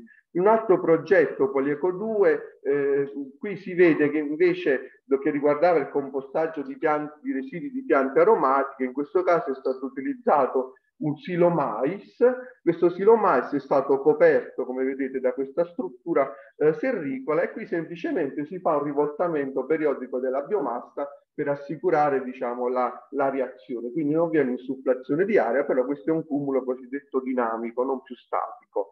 Nell'impianto di compostaggio Carbon Farm, che vedete qui in fotografia, è l'impianto più grosso che è stato realizzato grazie a questo progetto LIFE, di fatto, come vedete, sono delle strutture serricole con, la, con, queste andane, questi cumuli che praticamente vengono periodicamente insufflati di aria, ma anche rivoltati, quindi è un sistema misto. Qui vedete prima della gettata di cemento queste tubazioni dove praticamente con le tubazioni principali che decorrono corrono lungo la struttura serricola e, questi verticali dove attraverso il quale viene, viene iniettata eh, diciamo all'aria e poi questo chiaramente prima di mettere giù la piattaforma eh, di, di, in cemento. Questi sono i rivoltatori, sono portati dalle prese di potenza della trattrice, quindi la trattrice procede lateralmente alle andane, ed è il classico processo anche nei quelli industriali dove abbiamo queste lunghissime andane, praticamente si utilizza questo sistema dove non c'è magari l'insufflazione ma c'è semplicemente il rivoltamento. Eh, lì invece lì vedete una, per setacciare praticamente i cumuli e questo ci permette di avere un compost più sottile dove è possibile anche recuperare il sobballo, cioè il materiale lignocellulosico, il cippato di legno, che è fondamentale da aggiungere alla biomassa vegetale perché è importante che ci sia, si dia una struttura al nostro cumulo perché l'aria deve, deve, deve passare. Oppure se uno non vuole fare questi impianti perché non ha quella quella produzione di biomassa da compostare può, e non vuole lavorare molto, basta che realizza all'inizio un cumulo fatto a strati, diciamo a, a lo, lo, lo, chiama il professor Celano, dove praticamente alterniamo delle, del materiale lignocellulosico dal materiale di natura strutturante, questo, eh, di natura nutrizionale, in questo caso sono delle scarole, così alternate e si lascia lì fermo, c'è una struttura fissa dove noi ci dobbiamo preoccupare solo di bagnare periodicamente il culo perché durante il processo di compostaggio siamo in alzamento della temperatura anche a 50-60 gradi e di fatto qui avviene un compostaggio più lento perché eh, l'ossigenazione avviene mediante diffusione di ossigeno, mediante la ventilazione naturale. E alla fine però anche se i tempi di compostaggio all'incirca raddoppiano perché nei sistemi che vi ho fatto vedere prima andiamo avanti all'incirca tre mesi, in questo caso andiamo avanti per 6-7 mesi, però il compost è veramente di ottima qualità per quanto riguarda le proprietà eh, generali. E qui vedete sono i vari impianti di compostaggio che sono stati realizzati nel corso nel tempo in regione Campania. Qui vedete come il processo di nel processo di compostaggio si vede già ai primissimi giorni un repentino innalzamento della temperatura che è un processo naturale dovuto ai microorganismi estremamente interessante per poter operare un'igienizzazione della biomassa e soprattutto far sì che i patogeni presenti nelle residui vegetali a fine ciclo vengano praticamente eliminati, così come anche le, i semi delle piante infestanti. Questi, già controllare andando il processo come temperatura è fondamentale per capire la qualità eh, di un compost che ne deriva. Ma questi compost sono estremamente interessanti anche per le proprietà di soppressività che noi studiamo in modo particolare. In questo vari compost che abbiamo realizzato nell'ambito, sono stati realizzati nell'ambito del progetto Life Carbon Farm, vedete da L1 a L7A tutta una serie di compost diversi che, dei quali abbiamo valutato la capacità di controllare eh, determinati patogeni delle piante, specificatamente Rhizoctonia solana e Sclerotinia minor, che sono funghi che attaccano la radice e il colletto. Come si può vedere, in alcuni casi sull'asse del, verticale delle ordinate vi è l'incidenza di piante malate, è un test in cui noi praticamente delle piante test, in questo caso l'epidium, crescione praticamente, viene aggiunta sul substrato del compost e viene aggiunto anche il patogeno, sclerotinia o rizoctonia. E si vede rispetto a un controllo queste piante se riescono a crescere oppure vengono distrutte praticamente dalla sclerotinia o dalla, o dalla rizoctonia. Ebbene, dove c'è l'asterisco L2, vedete, oppure L4, si vede per esempio nel caso della sclerotina questi due compost sono stati capaci di, eh, eh, eh capaci di eh, controllare completamente lo sviluppo di sclerotina, per cui abbiamo avuto un'incidenza di piante malate pari praticamente allo 0%. Al contrario invece per la ritoctonia, un altro caso estremo, questi altri compost CVL2A e L3A dove praticamente tutte le piante sono state distrutte eh, dalla, dalla ritoctona. Questo per dirvi quindi la diversa altezza di questi histogrammi sta a indicare come compost diversi, diversi per che cosa? Per le matrici di origine che li hanno poi sono andate a costituire, di fatto hanno una capacità di controllare le malattie eh, dei cosiddetti funghi soil-borne, cioè originari del suolo, eh, differente. I meccanismi di biocontrollo sono numerosi, qui non mi soffermo per motivi, motivi di tempo, qui vi faccio vedere quello, il fenomeno dell'antibiosi che è possibile rilevare in piastra, dove lungo i bordi delle piastre abbiamo messo dei bacillus che si eh, differenziano molto durante il processo di compostaggio perché i bacillus sono termofili e sono eh, dei batteri sporigeni che come ha fatto vedere prima eh, Fulvio sono estremamente interessanti da un punto di vista del controllo biologico di fatto l'alternare, come vedete, al centro c'è una piazza di controllo, vi è una diversa capacità no? di, di, produrre sostanza d'azione antifungina da parte dei, dei diversi ceppi. E qui andando in vivo si vede chiaramente come noi dobbiamo utilizzare dei compost vivi, cioè o meglio dei compost non sterilizzati, perché se noi sterilizziamo questi compost di fatto vi è un calo brusco della capacità di soppressività, come si può vedere. A sinistra abbiamo un test con un compost soppressivo sterilizzato in autoclave e a destra con un compost non sterilizzato. Si vede la differenza nel numero di piante che sono venute fuori nonostante la presenza di sclerotina nel, nel substrato. Sono proprio i microorganismi principali artefici. Sebbene ci sono dei compost particolari, come quelli in cui mettiamo dentro del, il residuo del caffè, no? del, del, della posa, non so come si chiama, di fatto quelli essendo già ricchi di sostanze eh, aromatiche, eh, già diverse reazioni chimiche hanno un effetto di soppressività, perché anche sterilizzando questi compost di fatto abbiamo avuto un effetto di biocontrollo assolutamente interessante. Questi sono i principali generi di batteri e funghi che sono presenti nei compost, che sono noti agenti di biocontrollo, sono quelli di cui vi ha parlato anche Fulvio e che generalmente troviamo nei nostri formulati eh, commerciali. Questi compost noi li studiamo da un punto di vista microbiologico, studiamo i microorganismi, io lavoro molto sui bacillus, come potete vedere in questo schema di valutazione di due ceppi B1 e B2 si vede la capacità di biocontrollo, nel, nel caso specifico sclerotina sulla lattuga e risottone solani su cavolo. Quindi questa dimostrazione di come questi compost sono sede di questi microorganismi agenti di biocontrollo, ma sono anche sedi di microorganismi promotori della crescita della pianta. Per esempio, vedete sulla sinistra queste piante di pomodoro come sono più cresciute rispetto a quelle di destra, ma perché semplicemente noi abbiamo, noi l'abbiamo concimato, ma ci abbiamo messo un batterio promotore della crescita. Vedete come sono cresciute tra, i principali meccanismi che è proprio la produzione diretta o indiretta di sostanze ad azione fitormolare stimolare la crescita. Oppure addirittura abbiamo, spesso ci ritroviamo di fronte a dei microorganismi, dei batteri, nel caso specifico, sarà sempre Bacillus subtilis, che ha sia un'azione di biocontrollo che un'azione di promozione della crescita. Per esempio, sulla sinistra vedete come non solo controlla bene la rizottonia, ma stimola anche la maggiore produzione di tuberi e questo è dovuto alla, alla, alla maggiore produzione di sostanze del tipo citokinine. L'aggiunta di compost addirittura determina un generale incremento della fertilità biologica del suolo, come potete vedere dagli istogrammi neri, dove abbiamo aggiunto compost a 50, 80 e 110 giorni, vi è una serie di incrementi di attività come la respirazione, altre attività biochimiche e enzimatiche che sono indici di sviluppo di microorganismi del suolo.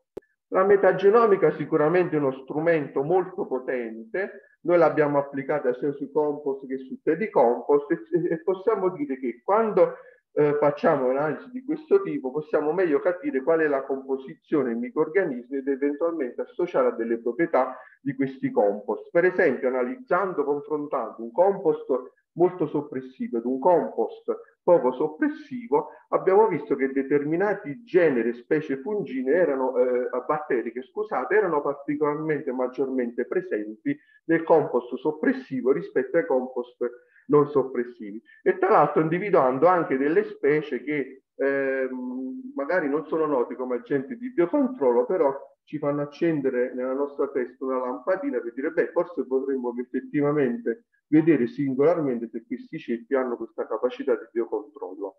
Il problema del compostaggio è che non sempre abbiamo diciamo, grande disponibilità di biomasse, quindi un sistema può essere quello di, per migliorare la fertilità di un suolo di fare compostaggio di superficie. In pratica non consiste altro che eh, coprire il suolo con del materiale che può essere le stesse piante da biomassa che producono e crescono rapidamente su questo suolo, che opportunamente trinciate possono rimanere sul suolo oppure leggermente interrate e quindi il compostaggio avviene praticamente su quel sito. Ovviamente non mi dilungo per motivi di tempo, però questo può essere un sistema che sicuramente ha il vantaggio di ehm, migliorare la fertilità di un suolo facendo un compo sul sito senza avere bisogno di tutte quelle strutture che vi ho fatto vedere. Questo poi sono scelte ovviamente che dipendono dalle organizzazioni aziendali. Un derivato del compost è il tè di compost, che è un estratto acquoso ricco di microorganismi che ci permette di poter utilizzare il compost, diciamo così, in forma liquida, con quale noi possiamo fare sia dei trattamenti fogliari, cosa che con il compost ovviamente non è possibile, oppure dei trattamenti anche al terreno, quindi al suolo, quindi, ovvero alle radici. Cosa fa il tè di compost? Incrementa la crescita radicale della pianta in generale, incrementa la concentrazione di clorofilla, incrementa la fioritura e la legagione, incrementa in modo significativo la produzione, ma protegge anche le piante da malattie di uringine, fungine e batterica e alcuni lavori riportano anche nei riguardi dei nematodi.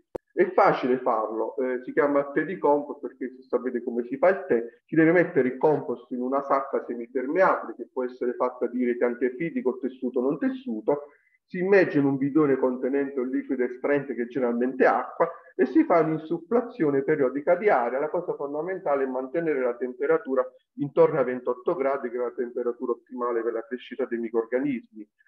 Qui eh, è un sistema che è stato fatto grosso nel nostro, eh, nelle, questi contenitori da 10 quintali che si utilizzano, sono presenti in tutte le aziende, in questo caso la circolazione è stata fatta ricircolando de, de, dell'acqua con una pompa, quindi non con l'insufflazione di aria all'interno. Questi sono sistemi che sono disponibili in commercio, ovviamente le caratteristiche di un tè di compost variano da tanti fattori. Principalmente noi abbiamo studiato il tipo di compost, cioè come il tipo di compost influenza la qualità del tè di compost. Rispetto al processo abbiamo ottimizzato con queste condizioni in termini di rapporto compost-acqua, di grado di areazione, temperatura, eccetera, eccetera. Però ovviamente sono variabili che uno può, può eventualmente modificare a secondo del tipo di compost. Qui si vede come i tè di compost influenzano la, positivamente la biostimolazione, la crescita di piante di, di, di, di lepidium in questo caso, oppure vedete qua su spinacio a sinistra anche molto diluito, incrementa ulteriormente lo sviluppo delle piante rispetto al controllo qui al centro. Lo stesso vale per l'avvieto, la vedete sulla sinistra, o ancora per la valeriana, sempre sulla sinistra, di di compost diluito un accento. Questo è un esperimento che ha fatto una società napoletana di biotecnologia di un tè di compost che abbiamo fornito. Come vedete nel primo vasetto, questa è una pianta di Arabidopsi, come ha stimolato la crescita della pianta e la fioritura, di gran lunga superiore rispetto a un formulato commerciale a base di amminoacidi che vedete nel secondo vasetto. Gli altri due sono dei vasetti di, di controllo. Ho detto i tè di compost hanno la capacità di controllare anche le malattie, se si fanno dei trattamenti fogliari su pomodoro controlla bene l'alternaria, controlla bene la pirinocheta licopestici, vedete anche la capacità di sviluppare, di stimolare la crescita radicale. Lo stesso nei riguardi di potriticcinera, con diversi tè di compost dove è stato utilizzato anche il latticello come liquido estraente, oppure nei riguardi del controllo di Larizoctonia solani su cavolo rapo, sclerotini amino sull'attuga, sclerosi rossi su peperone. Questi sono tutti i test che noi abbiamo fatto ovviamente in ambiente collaboratorio. Però la cosa interessante è che quando andiamo in pieno campo i risultati sono davvero straordinari. Qui vedete sottosera nella piana del Sele la, la somministrazione in fertilizazione di tè di compost è stata in grado di controllare perfettamente la sclerotina e di generare anche dei cerchi più grandi, più verdi rispetto a quello che vi dicevo prima. Qua con diversi tè con risultati differenti Oppure su peperoni in due anni un incremento medio del 22% di produzione, perché se vi ricordate all'inizio vi ho detto che stimola la fioritura e stimola l'allegagione delle, delle piante. Ancora la, la produzione in cavolo rapa, sempre per trattamenti fogliari, vedete l'orgono è decisamente più grosso, un 32% in più, o rucola 39%, il trattamento come te, col tè ha stimolato fortemente lo sviluppo delle piante. Su pomodoro più 46% con quattro diversi di compost, vedete rispetto ad F che è il nostro controllo chimico ha prodotto di più, non solo, ma noi lì abbiamo utilizzato solo due antiperonosporici, non abbiamo fatto altri trattamenti con fungicida a differenza del trattamento F. Andando sempre in pieno, quindi tutte prove di pieno campo queste, come anche questa nel basso latte dove dei progetti in corso, su, su rucola un incremento non solo di produzione, sistema reale, eh, questo qui ho solo dato, ho fatto fare tutto a loro, io non ho fatto niente, hanno fatto tutto a loro, hanno visto il risultato, un incremento di produzione, una riduzione dei nitrati al primo taglio, ma soprattutto quello che è stato osservato, eh, cosa interessante, è che loro hanno sostituito un formulato commerciale a base di microorganismi con il compost, quindi di fatto questo è, è un ottimo risultato. Su Ravanella ancora più interessante, sempre nel Basso Lazio, zona di Sabaudo, un incremento dal 32 al 40, al 40 tonnellate ad ettaro, con miglioramento anche della qualità in termini di residuo ottico e di residuo secco. Questo in un ciclo stagionale a Tumbo Vernino dove il ravanello cresce più lentamente, con un controllo interessante anche della risoctona, li fanno ravanello da 20 anni, quindi fanno chiaramente la solarizzazione, perché sennò sarebbe impossibile, però di fatto hanno visto anche un miglioramento fitosanitario. Siamo ormai alla conclusione, la cosa interessante è vedere anche da un punto di vista di quello che succede nella pianta quando si fanno questi trattamenti col di compost. Qui è, una, una, un esperimento fatto un po' di anni fa in idroponica dove questi trattamenti con di compost a livello radicale nelle prime 24 ore hanno eh, determinato eh, la produzione, l'espressione di 500 geni differenzialmente espressi e questi geni si è visto da analisi bioinformatiche sono implicati nei sistemi di crescimento cellulare e di induzione di resistenza nelle piante. Ovviamente bisogna stare attenti alla qualità microbiologica, quindi vedere che sia assente schericavoli e coliformi, cose che normalmente non accade se utilizziamo dei compost di qualità e facciamo per bene il nostro processo di produzione di tè. L'analisi metagenomica è stata utile non solo per i compost, ma anche per i tè di compost, dove di fatto abbiamo potuto anche vedere, eh, vedendo proprio tutti i microrganismi presenti, che l'analisi metagenomica ci permette questo, di vedere i diversi livelli di biodiversità che sono stati raggiunti con questi diversi, diversi tè. Questi sono due indici, come si vede per esempio il CTV2 è risultato nettamente superiore per il livello di biodiversità microbica e quindi cerchiamo di, anche di associare rispetto alla funzione biologica di questi, di questi tè. I principali microorganismi presenti sono Bacillus pseudomonas, che sono noti agenti di biocontrollo, però come dicevo ve ne sono diversi altri che potrebbero essere interessanti, probabilmente implicati nei meccanismi di soppressività. Quindi questi andranno chiaramente approfonditi.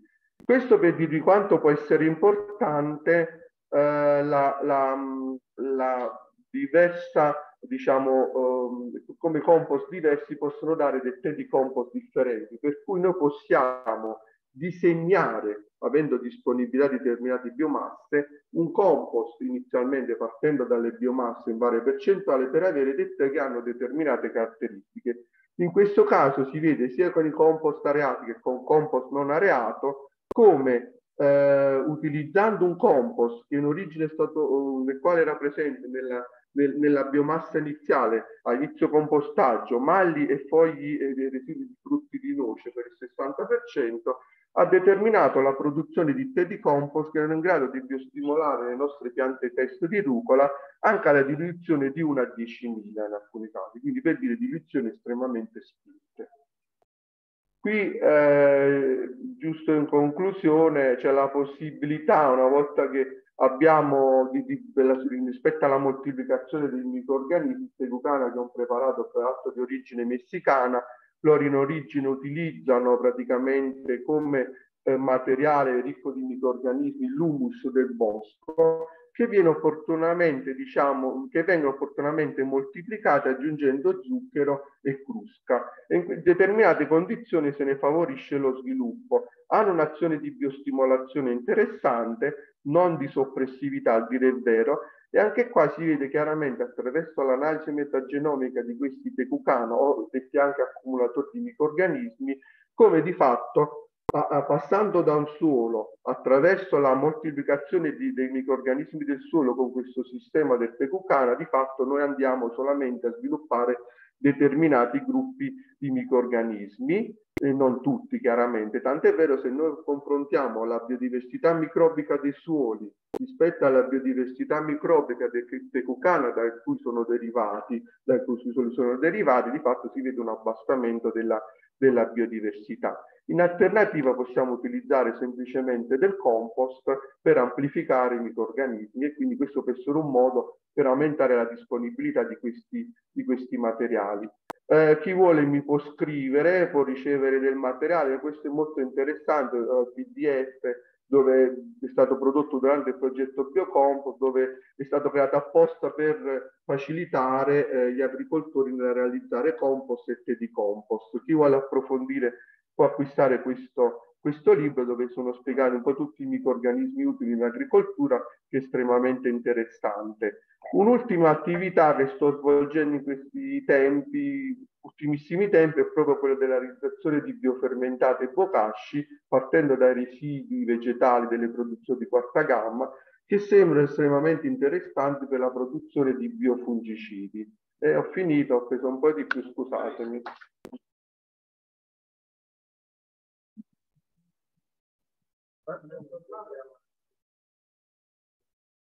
Sì, poi io scrivete ve la posso mandare, sì. però ve la, ve la giro. Lasciamo, vabbè, le domande alla, alla, alla, alla, fine, sì, alla fine, sì. Chiaramente i relatori, come dice anche me, sono, sono disponibili per eventuali. Questa? Va bene, quella.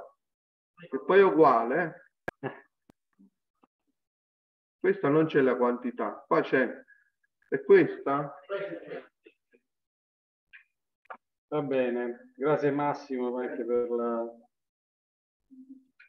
per la tenuta dei tempi, è stata una leggera sforatura, ma va bene così, visto che era comunque interessante quello che hai detto, per aver anche puntualizzato dal mio punto di vista l'importanza della qualità del compost, perché quello di controllare anche la, la contaminazione da, da, enterobatteri comunque è, è, è, una, una, è, una, cosa molto molto importante. Il, adesso chiamo a relazionare Michele Monetta che ci parlerà della comunità dell'humus dei produttori agrobiologici in Basilicata. C'è una presentazione, vai a braccio.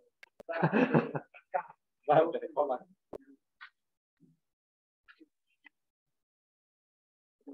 permettetemi di ringraziare l'Arsia per l'ospitalità, in modo particolare Emanuele Scarcione per l'impegno che ha profuso nell'organizzazione di questo incontro. Per i, i, nuovi arrivati nel mondo del bio, del bio ci presentiamo.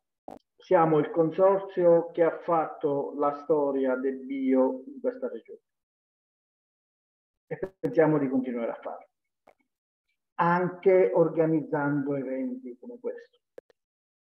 Ovviamente in collaborazione con quanti condividono i nostri stessi ideali. Il Comprobio è un consorzio di produttori nato da un'azione lungimirante dell'Asia, che ringraziamo, nell'ormai lontano 2005 ha fatto innumerevoli esperienze condivise, promuovendo la diffusione del metodo biologico, senza alcun timore di far crescere nuove, nuovi competitors. Ci evolviamo seguendo le migliori tecniche per aumentare sempre più la sostenibilità ambientale, la biodiversità anche microbica. Abbiamo al libro paga quattro lavoratori stagionali, un impiegato sottoscritto, uno part-time che ci accingiamo ad assumere e tre tecnici che collaborano costantemente con noi. Non facciamo utili, non è la nostra mission, ma riusciamo a chiudere quasi sempre i conti in pareggio e se ci sono utili li distribuiamo tra i soci in primis e ai produttori biologici lucani in secondis, permettetemi il termine, non in termini economici ovviamente, ma in termini di, di servizi. E questo è uno di quelli. E se ci sono perdite, come è capitato in un paio di occasioni da 18 anni a questa parte, chiamiamo i soci a ripianare. E i soci lo fanno. Per chiudere sul, sul farro che oggi è prodotto da tutti. E proprio per questo noi come consorzio non potevamo pensare di continuare a produrre. Quando una innovazione è di tutti, non è più un'innovazione. Quindi che facciamo? Ci tiriamo indietro dal mondo cerealicolo? No. Stiamo lavorando a nuovi cereali minori, a dirla tutta africani, andiamo verso la desertificazione e che auspichiamo possa darci i medesimi risultati che ci ha dato in passato il farro. Per i dettagli ve in sala il nostro tecnico Michele Falvine che si occupa di questo. Il Coprobio nasce per innovare, per cui ora che tutti passano al bio, il comprobio passa a rete 1.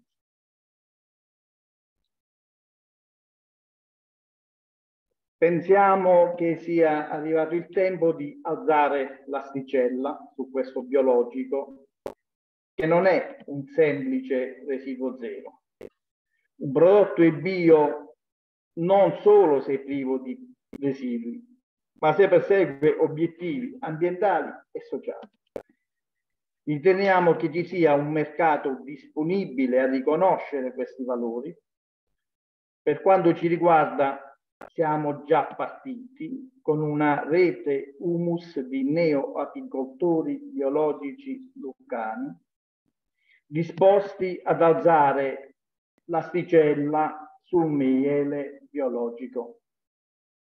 Se interessati vi è Carlo Marino che è a disposizione per chiarimento. Alzare l'asticella sul bio significa sperimentare tecniche innovative che attenzionano l'ambiente. Non ci rivolgiamo a quella scienza che guarda gli agricoltori biologici come dei battucchieri e degli stregoni, ma a quella scienza che c'è e si avvicina all'imprenditore biologico per quello che è un innovatore e uno sperimentatore, che quasi mai ci azzecca, ma qualche volta ci prende. Ecco perché abbiamo bisogno di una scienza con la S maiuscola che abbia voglia di volare alto e di avvicinarsi a noi per quello che siamo perché il paradigma del futuro non sarà il risultato finale. Quanta produzione ricavo da un ettaro di terreno, ma quanto meno impatto ambientale ho ottenuto producendo tot quintali di prodotto, sufficienti a sfamare un popolo planetario disposto però a non fare sprechi. E non lo diciamo noi, lo dice la FAO, lo dice la comunità europea e lo dice il Po in secca. Ci evolviamo e pensiamo di aggiungere qualità all'agricoltura biologica aderendo ai valori di Rete Humus. Ecco perché ci farebbe piacere che anche l'Alzia e l'Agrobios riprendano come il CREA tematiche a noi care come le autoproduzioni. E che diano supporto agli imprenditori con attività di ricerca condivisa per l'individuazione di soluzioni che riducano gli input extraambientali. E che ci assistano per autoprodurre in sicurezza partendo proprio dalle attività agricole o connesse a quelle agricole non una nuova autarchia, ma una nuova opportunità per migliorare l'efficienza ambientale, applicando localmente i principi dell'economia circolare.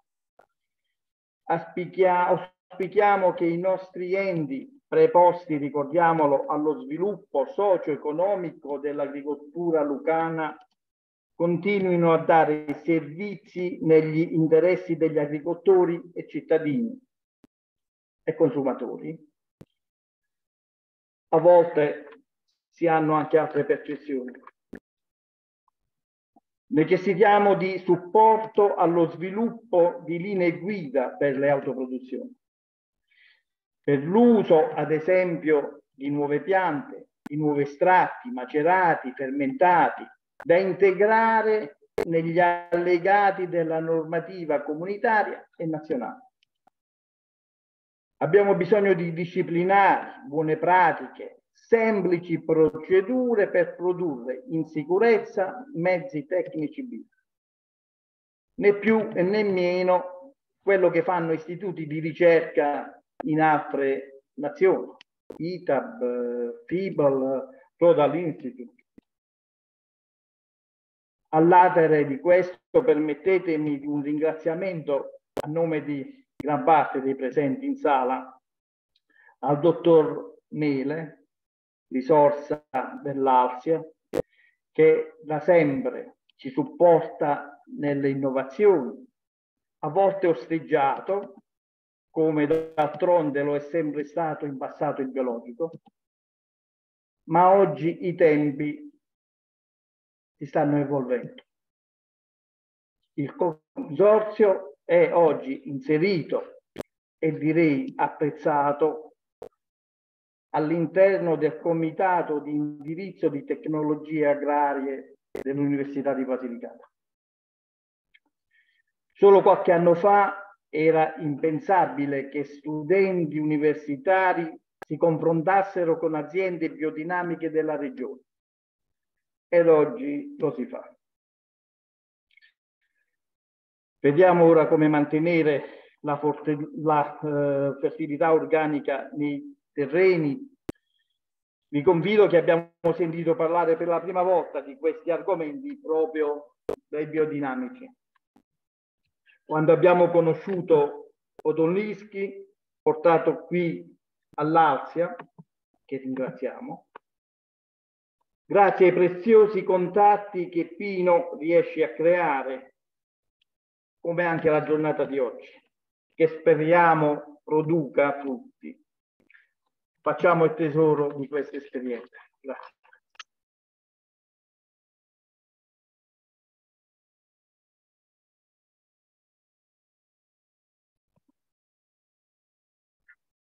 Ringraziamo Michele, ringraziamo, ringraziamo Michele Monetta per, la, per, averci chiarito anche un po' la strategia del Confopio, dove va, vuole andare il Confopio e anche cosa chiede diciamo, alle istituzioni, inclusa l'Ansia, mi pare di Quindi anche per questi stimoli pensiamo di, comunque come istituzione di farne tesoro nei limiti delle, delle nostre possibilità. E adesso chiamo il collega qui, Emanuele Scalcione, a dire che cosa fa, appunto. E poi, poi, risponde anche alle tue sollecitazioni, immagini, cosa fa l'agenzia in questo settore e come anche l'agenzia intende muoversi per dare più supporto, non solo al biologico, ma in, in, in senso ampio, ma in questo caso soprattutto al settore biologico che tanto vi, vi interessa. Grazie. Eh, mi scuso con te Michele, perché mi hai ringraziato prima per io ti disturbato perché dovevo ammettere delle persone. Il mio cellulare si stava scaric già scaricato quindi tra l'altro c'è anche il direttore in lista d'attesa quindi che poi chiuderà il lavoro quindi ti informo di questa cosa qua. Uh, bene um, io uh, vi presento il bandi a sportello dell'Alzia quindi io sono responsabile di un'attività eh, anche perché questa è una relazione che faccio in collaborazione con il dottor Caponero, che oggi non c'è per altri motivi, eh, per impegni. Eh, e che naturalmente, siccome eh, i nostri bandi chiaramente come dire, si intersecano molto bene, quindi con le attività vostre, magari la mia, eh, quindi il bando che gestisco tuttora, l'anno scorso che abbiamo attivato, quello sul, sull'assistenza all'irrigazione, chiaramente si interseca e quindi ha, chiaramente eh, forte connessione con voi, poi chiaramente quello, l'attività di Caponere, quindi sull'assistenza fitosanitaria, ancora, eh, ancora di più.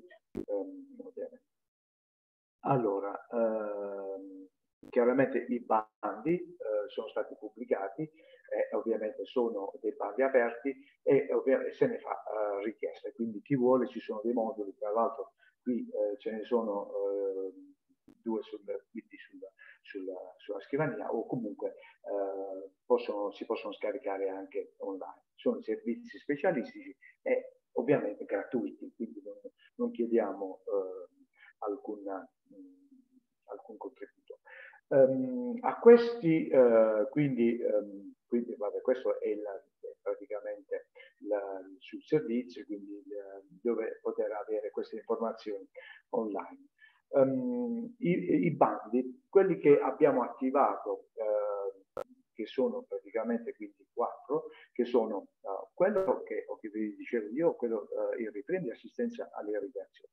C'è Fitoconsult, che è quello del collega Caponeri, quindi in assistenza nel settore fitosanitario.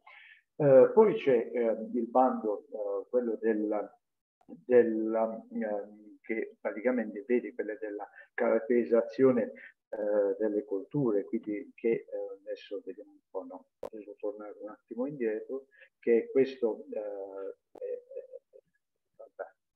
vabbè. comunque ehm, ehm, Scusatemi, ma io con questo PC non mi sto trovando molto bene. Va bene, comunque poi c'è quello su, supreme che praticamente che è stato fatto in questa uh, quest'estate, quest'anno, potrebbe essere rifinanziato, che ha previsto l'inclusione e l'addestramento di lavoratori extra uh, comunitari, quello altro della caratterizzazione uh, poi anche genetica di alcune specie che chiaramente eh, si utilizzano la professionalità di infrastrutture della Medabondum Agrobios. Eh, quindi eh, che oggi ci ospita.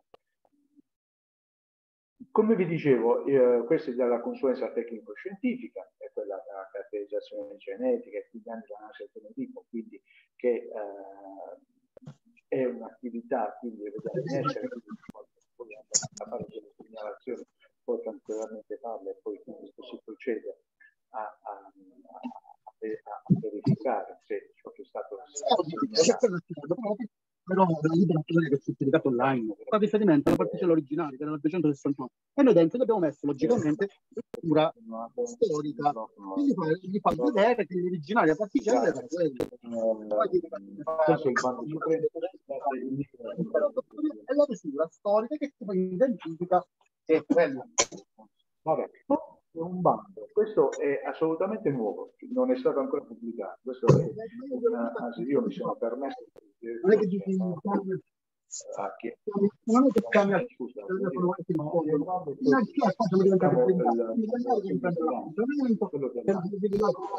della fertilizzazione sì. però questa sì, con, con Francesca. Però questa qua è firmata non è firmata né da Francesca né da Giglio è firmata da ok ok. Eh, questo è un bando quello della fertilizzazione che chiaramente partirà a breve. Aspettiamo chiaramente l'approvazione del bilancio quindi, quindi per vedere anche poi le risorse che saranno messe ma come vedete è quindi poi molto legato anche alle attività oggi vengono presentati, quindi per fare i piani di concimazione e poi anche delle analisi fisico-chimiche del suolo. Quindi eh, è chiaro che ovviamente ci saranno dei criteri di, di selezione perché insomma, ci aspettiamo una uh, grossa uh, adesione, uh, però credo che si fare, soprattutto magari il direttore si impegnerà, quindi sarà anche dire, più chiaro di me sulle risorse che potranno essere messe a disposizione e ehm, quindi poi eh,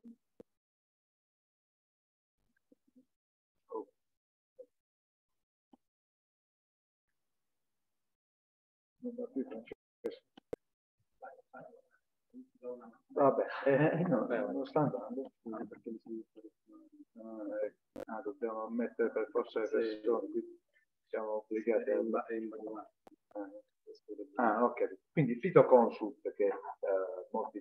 conosceranno e quindi quello sulla consul eh, consulenza fitosanitaria, chiaramente come vi dicevo il collega Caponero se ne occupa in prima persona, ma chiaramente ha un gruppo di, di persone che eh, collabora con lui, quindi sulla difesa fitosanitaria, ehm, e quindi dove vengono eh, attraverso i sopralluoghi, parte delle analisi vista aziendali, quindi viene fornita consulenza fitosanitaria, c'è una checklist che viene compilata e quindi chiaramente discussa con eh, l'agricoltore, quindi anche soprattutto allo scopo di informare quelle che sono le norme. Quindi voglio dire, noi non siamo dei, degli ispettori, noi siamo dei consulenti dove vi diciamo, guardate, la legge dice questo, se vi mettete a norma è buono per voi, eh, e poi più di tanto noi non possiamo fare. Poi chiaramente tutti i, dati sono comunque riservati, quindi non vengono trasmessi a, a nessuno, quindi eh, pughiamo ogni dubbio nel caso in cui qualcuno pensi che eh, potremmo trasferire eh, le informazioni. Um, questo chiaramente è eh, Tito Consult e poi come dicevo il riprendo, quello l'assistenza all'irrigazione, questo chiaramente è un'attività che viene fatta poiché eh, vi è un servizio agrometeorologico che chiaramente è alla base di tutto questo, come anche alla base del servizio eh, di difesa fitosanitaria, perché abbiamo la modellistica che um, si alimenta di dati. I dati di morte con l'atto originato dove si identifica ovviamente quindi vedete qui ci sono io ho messo giusto delle lavoro che abbiamo fatto di, di output che, eh, visibile quindi che si possono veramente adesso non mi dilungo molto anche perché insomma, il contesto non, non, lo richiede, insomma, quindi anche stare via. E, e, e, chiaramente fa un campo di bilancio idrico su criteri agronomici, quindi su dei criteri chiaramente ormai consolidati eh, da tempo. eh, con delle pagine di risposta, quindi con eh, delle foto, quindi, delle eh, quindi il bilancio idrico e quindi qual è l'informazione che viene data è la data dell'irrigazione e la quantità di acqua da eh, somministrare. Si può naturalmente anche implementare con eh, la, la, visualizzazione del, del, campo, quindi con Google Maps, e, mh, mm, e quindi praticamente vedete la cosa è molto semplice. Come vi dicevo, eh, eh, quindi come vi dicevo, io praticamente la, mi fermo qui, anche perché apriamo il, il dibattito a una serie di chiarimenti su, su quello che è stato l'argomento principale della, della, giornata, ma ovviamente anche su, su, questi bandi che nel caso in cui eh, voi siate interessati, oltre che probabilmente molti di voi saranno già iscritti e quindi siamo a disposizione. No, perché così si sono... Solo sapere se eh, dati sono open, sono aperti a tutti oppure solo a coloro Quali che hanno risposto al banco.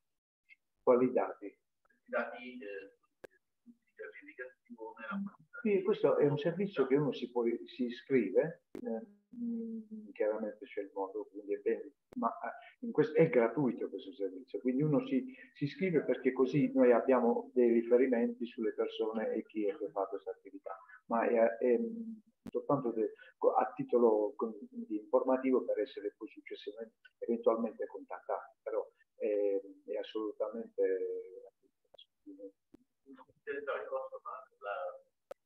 L'accessibilità ai dati. Accessibilità. No, non so, non, allora, Però, allora, se intendiamo accessibilità ai dati agrometeorologici, anche quella è libera, eh, si basta previa registrazione dal portale, si va eh, sul portale Ausia, dai servizi, eh, chi, sì, noi infatti con la nuova amministrazione eh, praticamente la politica è quella di eh, far registrare gli utenti in modo tale da avere le informazioni e quindi poi anche da poter contattare e quindi a fare anche degli studi specifici comunque. Questo è, è, stato una, come dire, un punto fermo dell'attuale amministrazione, eh, dell'attuale gestione, quindi che praticamente infatti in operato sono stati pubblicati dei bandi che sono aperti, quindi non c'è una data di scadenza, quindi tutti possono registrarsi e così poi possono essere contattati eventualmente collaborare. Grazie. Beh, c'è spazio per una o due domande anche ai relatori, curiosità, tutto chiaro, l'ora diciamo, ci approfittiamo alla fine settimana. Si può mandare qualche Sì, no. Noi chiederemo la disponibilità delle presentazioni e magari ai relatori che poi vedono loro di pulire, fare, darci magari già qualcosina. Sicuramente, comunque questa, questa, eh, questa, questa, giornata è stata registrata, quindi tutto, tutto il, il, materiale sarà disponibile anche via video da poter rivivere diciamo, in, in altri momenti, sia a chi ha partecipato sia a chi non ha partecipato. Quindi ci sarà ampia e poi immagino potete contattare comunque anche o tramite noi o direttamente come ha fatto anche il dottor Zaccardi per cose particolari. Va bene? Che direi se non ci sono domande passerei se, se è in linea la, la parola al direttore al dottor Crescenzi. Direttore ci senti?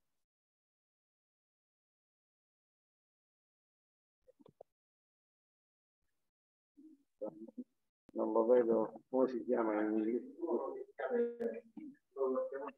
XX, triple X, diciamo come.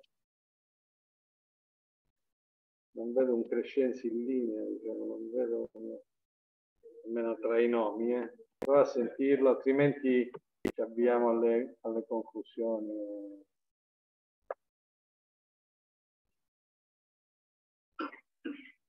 Scusate un secondo, quando siamo in videoconferenza sempre... C'è ancora spazio per la domanda, su. No, magari la faccio, faccio io una domanda, visto che stiamo aspettando. proprio l'aspetto normativo e legislativo. No? Cioè abbiamo affrontato argomenti tecnici, abbiamo visto quante potenzialità ci stanno, giustamente, ah, ecco, Aniello Crescente. Aniello, Anie, ciao, mi senti?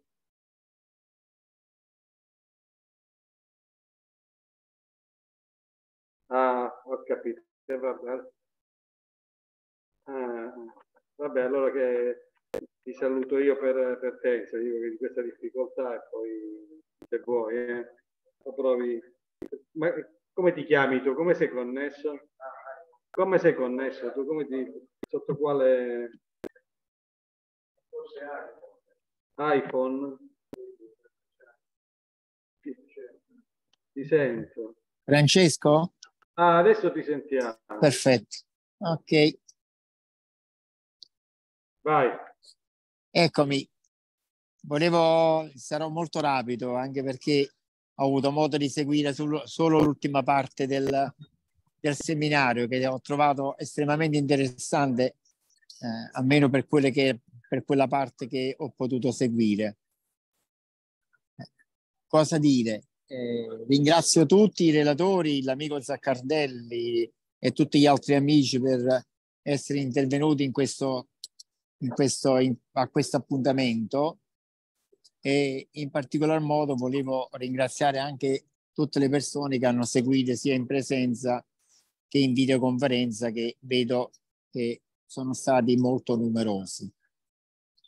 Così come ha detto anche il dottor Emanuele Scalcione, noi replichiamo con un, sempre sullo stesso argomento nelle prossime settimane uh, questo, questo tipo di, di, di, temi, questo tipo di, eh, di argomenti con un ulteriore contributo che cerchiamo di dare al, al biologico in modo particolare, considerato anche che come tutti ben sanno, la settimana scorsa, cioè non più di due settimane fa, sono state approvate le, le norme a livello nazionale per quanto, riguarda, per quanto riguarda i distretti biologici, su cui la regione Basilicata nei prossimi giorni porterà in discussione una legge, una legge regionale per l'istituzione e il riconoscimento dei distretti biologici ovviamente sulla base che è quella che è la normativa nazionale.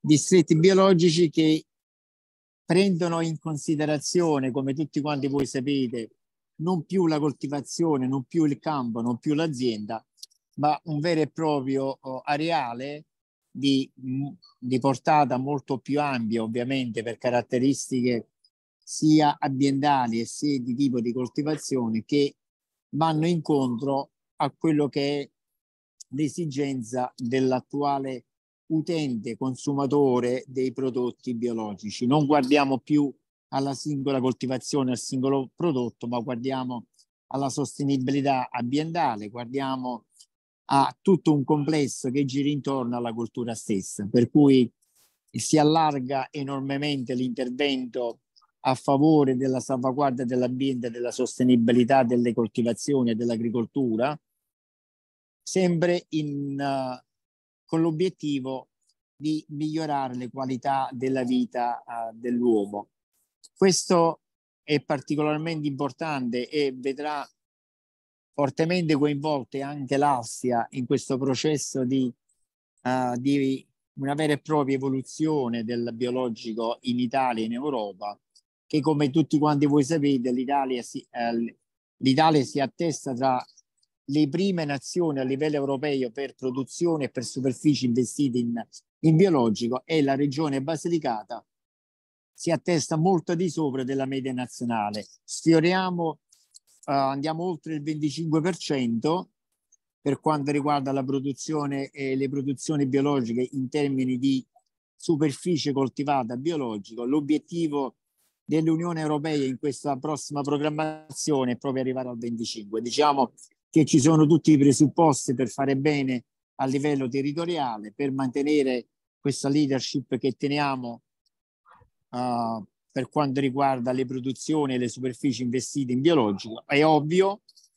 che è necessario un forte sforzo da parte di, di tutte le istituzioni, in particolar modo di quelle che la ricerca, la sperimentazione, il trasferimento dell'innovazione al settore biologico, perché ancora oggi se alcune culture non hanno ancora delle percentuali molto alte di biologiche perché molto probabilmente una delle cause è quella che non si dispongono ancora di, quegli, di quei protocolli, di quei prodotti che ci consentono di coltivare in modo redditizio le coltivazioni biologiche. Un altro aspetto su cui mi preme sottolineare eh, il mio, oh, diciamo, queste mie conclusioni, che i prodotti biologici che producono ovviamente uh, le aziende biologiche nei prossimi mesi, eh, le aziende biologiche presenti nei distretti biologici hanno, devono essere maggiormente valorizzate da un punto di vista economico perché non si può pensare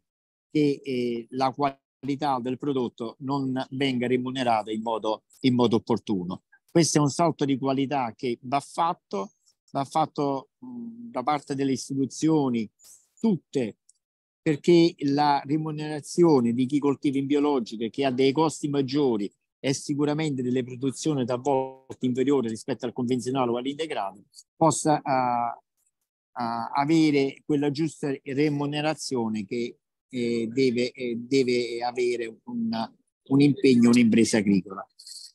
Io con questo vi volevo salutare, volevo ringraziare ancora tutti i relatori che eh, sono intervenuti in questa riunione, volevo ringraziare Emanuele Scalcione che in tempi strettissimi ha messo su questo incontro di studio e ovviamente un saluto caro va anche al dirigente Cellini che uh, ha guidato questa giornata uh, in modo eccellente come sempre. Grazie a tutti e buon fine settimana. Arrivederci direttore, grazie, grazie. Ringraziamo il direttore provinciale che penso che, che la domanda post conclusione.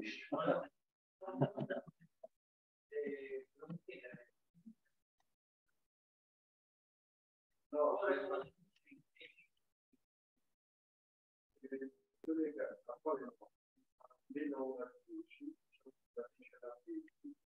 perché eh, sperimentazioni sono state fatte da Virgem.